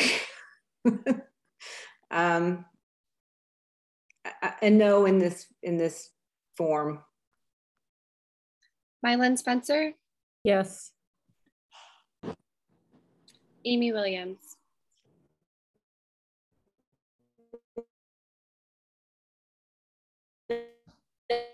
No, oh, not in favor. Confirming that was a no. Uh, the motion does not pass. Okay, floor is open for alternative motions. Um, happy to take uh, amendments to the current motion or an alternative motion um, that uh, anyone would like to bring. Josh, uh, Jeremy here. I'd like to uh, propose a motion to not explore non-exam pathway at this point, but that um, at some juncture down the road, once we've explored the changing to the bar exam, that we look at alternative pathways. I think, um, uh, yeah, go, uh, go, ahead. Audrey, do we have a uh, alternative motion or would you like to write one? I had one in the item. I can. Okay. Wanna... Let me just grab that. Yeah.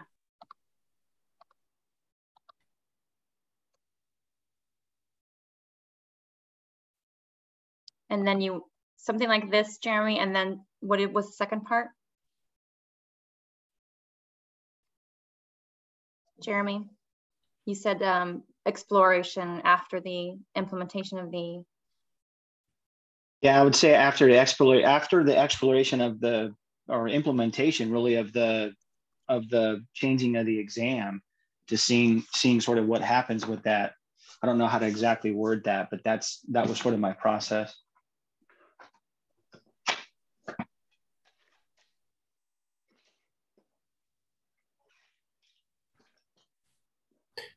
Jeremy, if that's the um, uh, direction of the body, we'll, we'll, we'll see if we can get that motion passed. Um, okay. I would I would ask if it uh, if we were unable to, whether or not we would consider a combination of the two motions, uh, as we've done some work on what some of the potential elements could be at a time that the um, implementation, you know, post implementation of the revised California bar. So let's see if we can get consensus on your motion. Um, let's read it one more time, please, Audrey. Blue Ribbon Commission recommends to the State Bar Board of Trustees and the California Supreme Court that California does not accept, adopt a non-exam pathway for licensure to practice law. It is further recommended that a bar exam alternative be considered after the implementation of a revised California bar exam. Jeremy, is that consistent with uh, what you'd like in the motion? Yes. Is there a second? Yes. So moved. Charles, second. All right, Deb, uh, any comments? Susan? I'm troubled by voting not to even to consider or explore something that the commission was fundamentally charged to do. And I think it degrades what the commission was asked to consider. And I think it fails to take an opportunity for California to be a leader. Um, that said, I also think that at a minimum, we ought to hold off. I think there we don't need to decide today not to explore it, particularly where some of the new concerns that were raised today, for example, the concern that materials be from the applicant themselves. Oregon has actually just implemented a program where they have decided how to do that and have the application process apparently involving evaluation of the final draft by the applicant. Oregon has also recently started a supervised practice option for those who failed the February exam and has a 30 page set of rules that we have not even looked at or considered. So before we adopt something as severe as we can't even continue to think about it or explore it, I think we ought to, at a minimum, at least hear from Oregon on these additional things that were new issues raised today that we have not heard what their solutions were. I have some thoughts, but I'll go to Emily first. Yeah, I'm, I'm probably going to vote no on this motion too, but I, I am with Jeremy on um, wanting, the reason I voted no on the last one is I just, I'm, I do not think that this is a recommendation as important as our bar exam recommendation, but I, I would be in favor of recommending that once the bar exam process is underway, then we move to exploring a bar exam alternative. Um, and so if that means that this is put off for the first year or something, I'm gonna have to put a timeline on it. But essentially, if the commission can recommend um, to the uh, Supreme Court that this comes second, um, and and that's that would be what I would support. So um, I'm just saying, if if I, I think Joshua was kind of your idea to combine motions, and that's where I would be on this. Okay, well, I, I want to just address Susan and, and your comment. I mean, uh, this motion is on the table. It's been seconded. We are going to vote on it. I do agree, uh, Emily, with you. Um, uh, I also um, believe that there's a, a middle ground where we uh, have a chance to um, see the fruits of the labor uh, on the exam pathway changes that that we've um, already recommended and will be recommending to the court, uh, and that um, there will be a time frame uh, not to lose the work that we've done and um, thought about around what a alternative could be. Uh, we'll see where it goes. Mylan? Uh, I was going to say my understanding from the beginning has been that um, exploring a non-exam pathway did not prevent us from implementing changes to the California bar exam pathway. So uh, I'm surprised at at um, this turn of events, uh, and I guess I'm wondering if while if people, um, if the consensus or the majority view is that the changes to the bar exam need to be considered the priority, whether there's still a possibility of exploring a pilot program of a limited non-exam pathway so that we're not waiting until after the implementation of the revised California bar exam, which could be years and years and years. I think we'd be really be losing the opportunity to be a leader in this field. Additional comments? Alex? Josh, this is Amy Williams. Yeah, go ahead, Amy. I support Mylan's viewpoint, and I suggested a beta test program earlier today. Okay, we'll see where we go. We may come back there. Alex? Mm-hmm. Yeah, Chair. So here the proposal is is that we we are going to recommend that a bar exam alternative be considered. And so depending on the outcome of this vote, um, nothing would stop this commission from considering additional alternatives after this vote. Meaning, if I were to look at what the staff has recommended, I, I, I do see three different additional options, and it feels like only one of them has been explored. And so, to the extent that we do vote on this motion, and that it passes, then we can consider these options as alternative as meeting this very motion that we're talking about here. Does that make sense? Because again, I, feel like we may have gone off tangent because the staff has three options in place and, and only, it feels like only one of them has been voted on. Um, I apologize, uh, Alex. You, are going to have to repeat that. I, it's a little faint, and I'm not. I didn't follow exactly um, what what the expectation is. Um, if if this passes, you're saying that we still would have the ability to explore what? The options that are laid out in staff's recommendation, because this motion says that it is further recommended that a bar exam alternative be considered, and so you know, and, and so if you look at the staff recommendation, there are three additional options that fall within this very sentence that we're that I'm reading, a bar exam alternative. And so those three options, as far as I know, we haven't voted on any of them, or maybe the first one, uh, which yeah. in many ways is overlapping. And so that there, there's still two other options that are that are on, on the plate. If we if we intend to put those options in, we would need to do that now through a friendly amendment. I I, I don't believe that the um, concept would be that we would be taking an additional vote I think the idea here is we're going to put out for public comment, including, by the way, this recommendation, if this is the recommendation that that um, uh, we're able to get to consensus today on. Um, uh, I, I, do I do understand the the and my interpretation of the paragraph, second paragraph here is that um, there's an there's an open mind to the future. That that would not be this commission would not be uh, uh the one to be dealing with that. That's going to be dealt with in the future after the implementation, however the court decides to implement it. Natalie?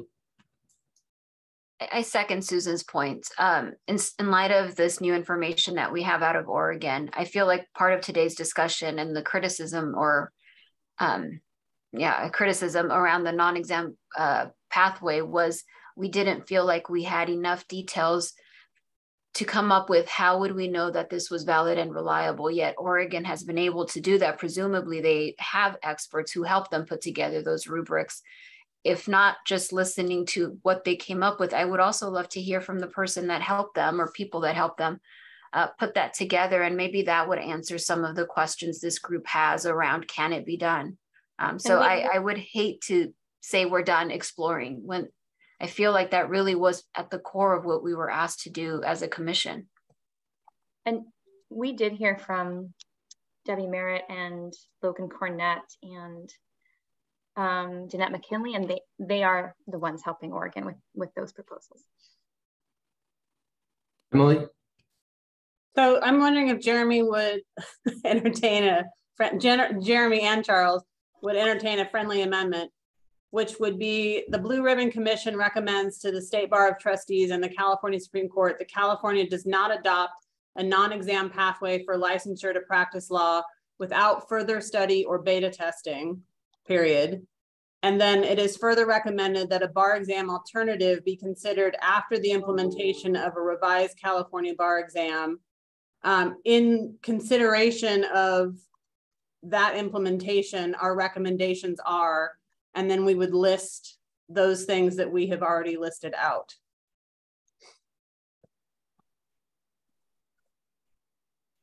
Jeremy, that's a question for you. Yes, I think I would be able to support that. I just want to know what those additional recommendations would be. I'm sorry, guys. I, I had a hard stop at two, so I'm going to be on mute here for a second.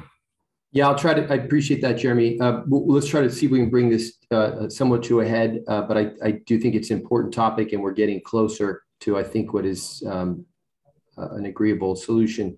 Um, it Josh, sounds like, yep. Oh, so I would cut and paste the components from above, Emily. Yes, that these are still, uh, I think, good, very good and broad recommendations. That if they are going to look at a non or an alternative pathway, that this is good information for the Supreme Court and trustees to have. I mean, we can look at the entire we can we can look at the entire motion. I mean, Jeremy said yes. We'll need a we'll need a second on it, um, but let's let's take a look at the entire motion and see whether or not this is closer to. I'm really I'm really uncomfortable rushing this. We're we're cutting and pasting, and it's complex. Are, I, I know we're all trying to get done, but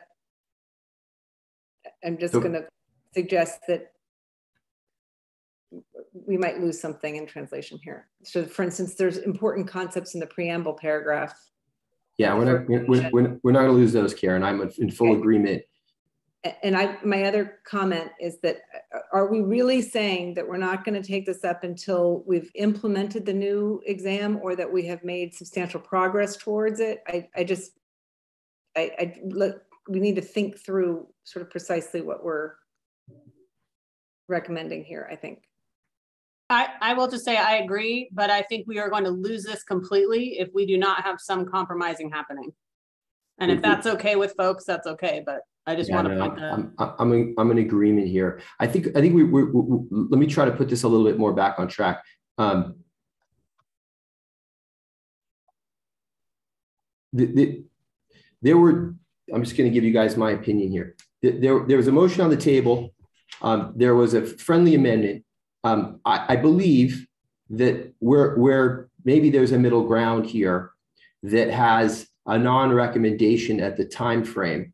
And Jeremy, this is really for you. I'm sorry that, the hard stop. If you got just two more minutes, that, that there is a, a recommendation not to move forward at this time frame. However, after the implementation, if the Supreme Court wants uh, uh, uh, continue with a beta test, and if the Supreme Court agrees, then to then to explore the alternative, and the alternative having all of the elements of the first motion. I think we had a lot of elements in that first motion that had, as Karen pointed out, some really um, important control language um, about validity and, and, testing that that would be lost and can't be lost in a motion like this. So um, if if if we put those two together, those two concepts together, uh, would that satisfy, uh, Jeremy, would you take that as a friendly amendment? So I think for me, Josh, I'm sorry for the background noise. Yeah, that's um, okay. I really, I was I was really okay with with Emily's motion right up until the point where it said to list these additional recommendations. Because um, I think already by saying that we're going to explore alternative pathway, we're doing that. But to add more to that, I just I would not I would not be able to support that additional uh, ask. Sorry. So I believe that the distinction uh, Jeremy and Emily were dealing with here, and and uh, uh, is that Jeremy believes that you need to see the result of the exam before you um, spend time on the uh, alternative. Jer Jeremy, is that the distinction that you're making? No, I was talking about how so Emily said it perfectly as to how I would support it, but I think the additional ask of adding these um, from that first motion, adding anything from that first motion, I would not be able to support. If that makes sense. Um, I, I, believe Emily was asking to, to, to add the elements from the first motion. Are you saying you weren't even in support of that? I would not be able to support that, no. Okay. Okay, uh, so um, friendly uh, amendment is uh, denied. Any other questions? I think he was okay with the further study and beta testing element though. I, I think that's right. I think that's right. So let me, let me, let, I, I would take... just say though, I, I, sorry, I would withdraw that as a friendly amendment though, because it, it that was part of what everything yep. I was providing. Yep. So let it, let it live or die. yeah, with, with, withdrawn. Karen? You know, okay, Jackie? Um, it, are we going to vote on this as it's written, or are we going to continue to? We're going to vote on it as it's written, okay. in, in, in, unless it, unless there's a friendly amendment and it's accepted with a second. Um, then we would vote on that. But as of right now, I believe this is the direction we're headed. So I'll just say my comment. I, I will be voting no on this. I thought the compromise position that we took was to water down the original motion, uh, or at least what I was hoping would be the original motion, to just have it state exploration. Um, and that exploration would certainly include, um, and we can add the specific language that it include beta testing and study if people feel more comfortable with that. I just assume that exploration would include those things, but we can certainly put that language in there. But the idea that we can't explore it until the new exam is written and implemented means that we're probably five to six years out. And that to me is, is a delay that's too long. Susan? A related comment, I'm troubled by considered after implementation. Um, if we are going to mean not until an exam is revised, tested, and given, we could be talking about a decade. Um, and implementation is incredibly ambiguous. I'm going to vote no. Uh, any other comments? If not, we're going to uh, we're going to move to a vote. Okay, let's go ahead and take a roll on this. Joshua. Uh, actually, you know what? Can we just read it one more time for everybody? I'm sorry. Audrey, can we just read through it one more time? Of course. The Blue Ribbon Commission recommends State Bar Board of Trustees and the California Supreme Court that California does not adopt a non-exam pathway for licensure to practice law. It is further recommended that a bar exam alternative be considered after the implementation of a revised California bar exam. All right, Devin, let's go ahead and take roll. Joshua Perttula? No. Susan Bakshian? No. David Boyd? Yes. Alex Chan? Yes. Charles Dugan? Yes. Jeremy Evans? Yes. Jackie Gardina? No. Esther Lynn? Yes. Tracy Montez?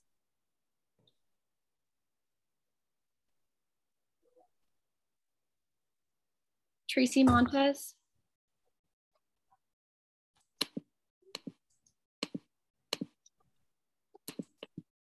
Sure, Tracy dropped off. Um, we'll circle back. Natalie Rodriguez. No. Emily Savoletto. No. Karen Silverman. No. Mylan Spencer, No. Amy Williams, Yes, in favor. uh, Tracy Montez, and Tracy Montez one more time. The motion does not pass.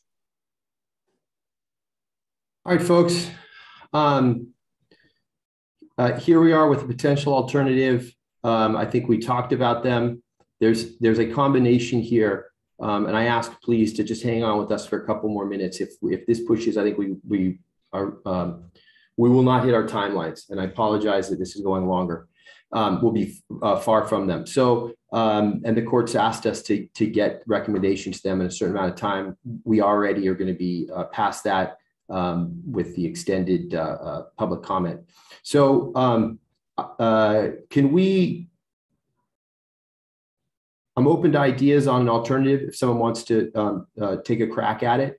Um, uh, Audrey, if you want to pull up uh, the two motions again, um, I think there's probably a middle ground here. I would ask maybe um, one of the members of this commission that has a, a strong feeling that believes that um, we were close with either one of the two um, and can make a recommendation uh, on a change that would sway them. I mean, I, uh, I think everyone was paying close enough to attention to know that both votes went by one person.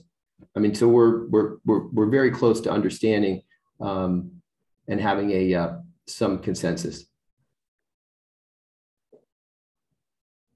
Susan.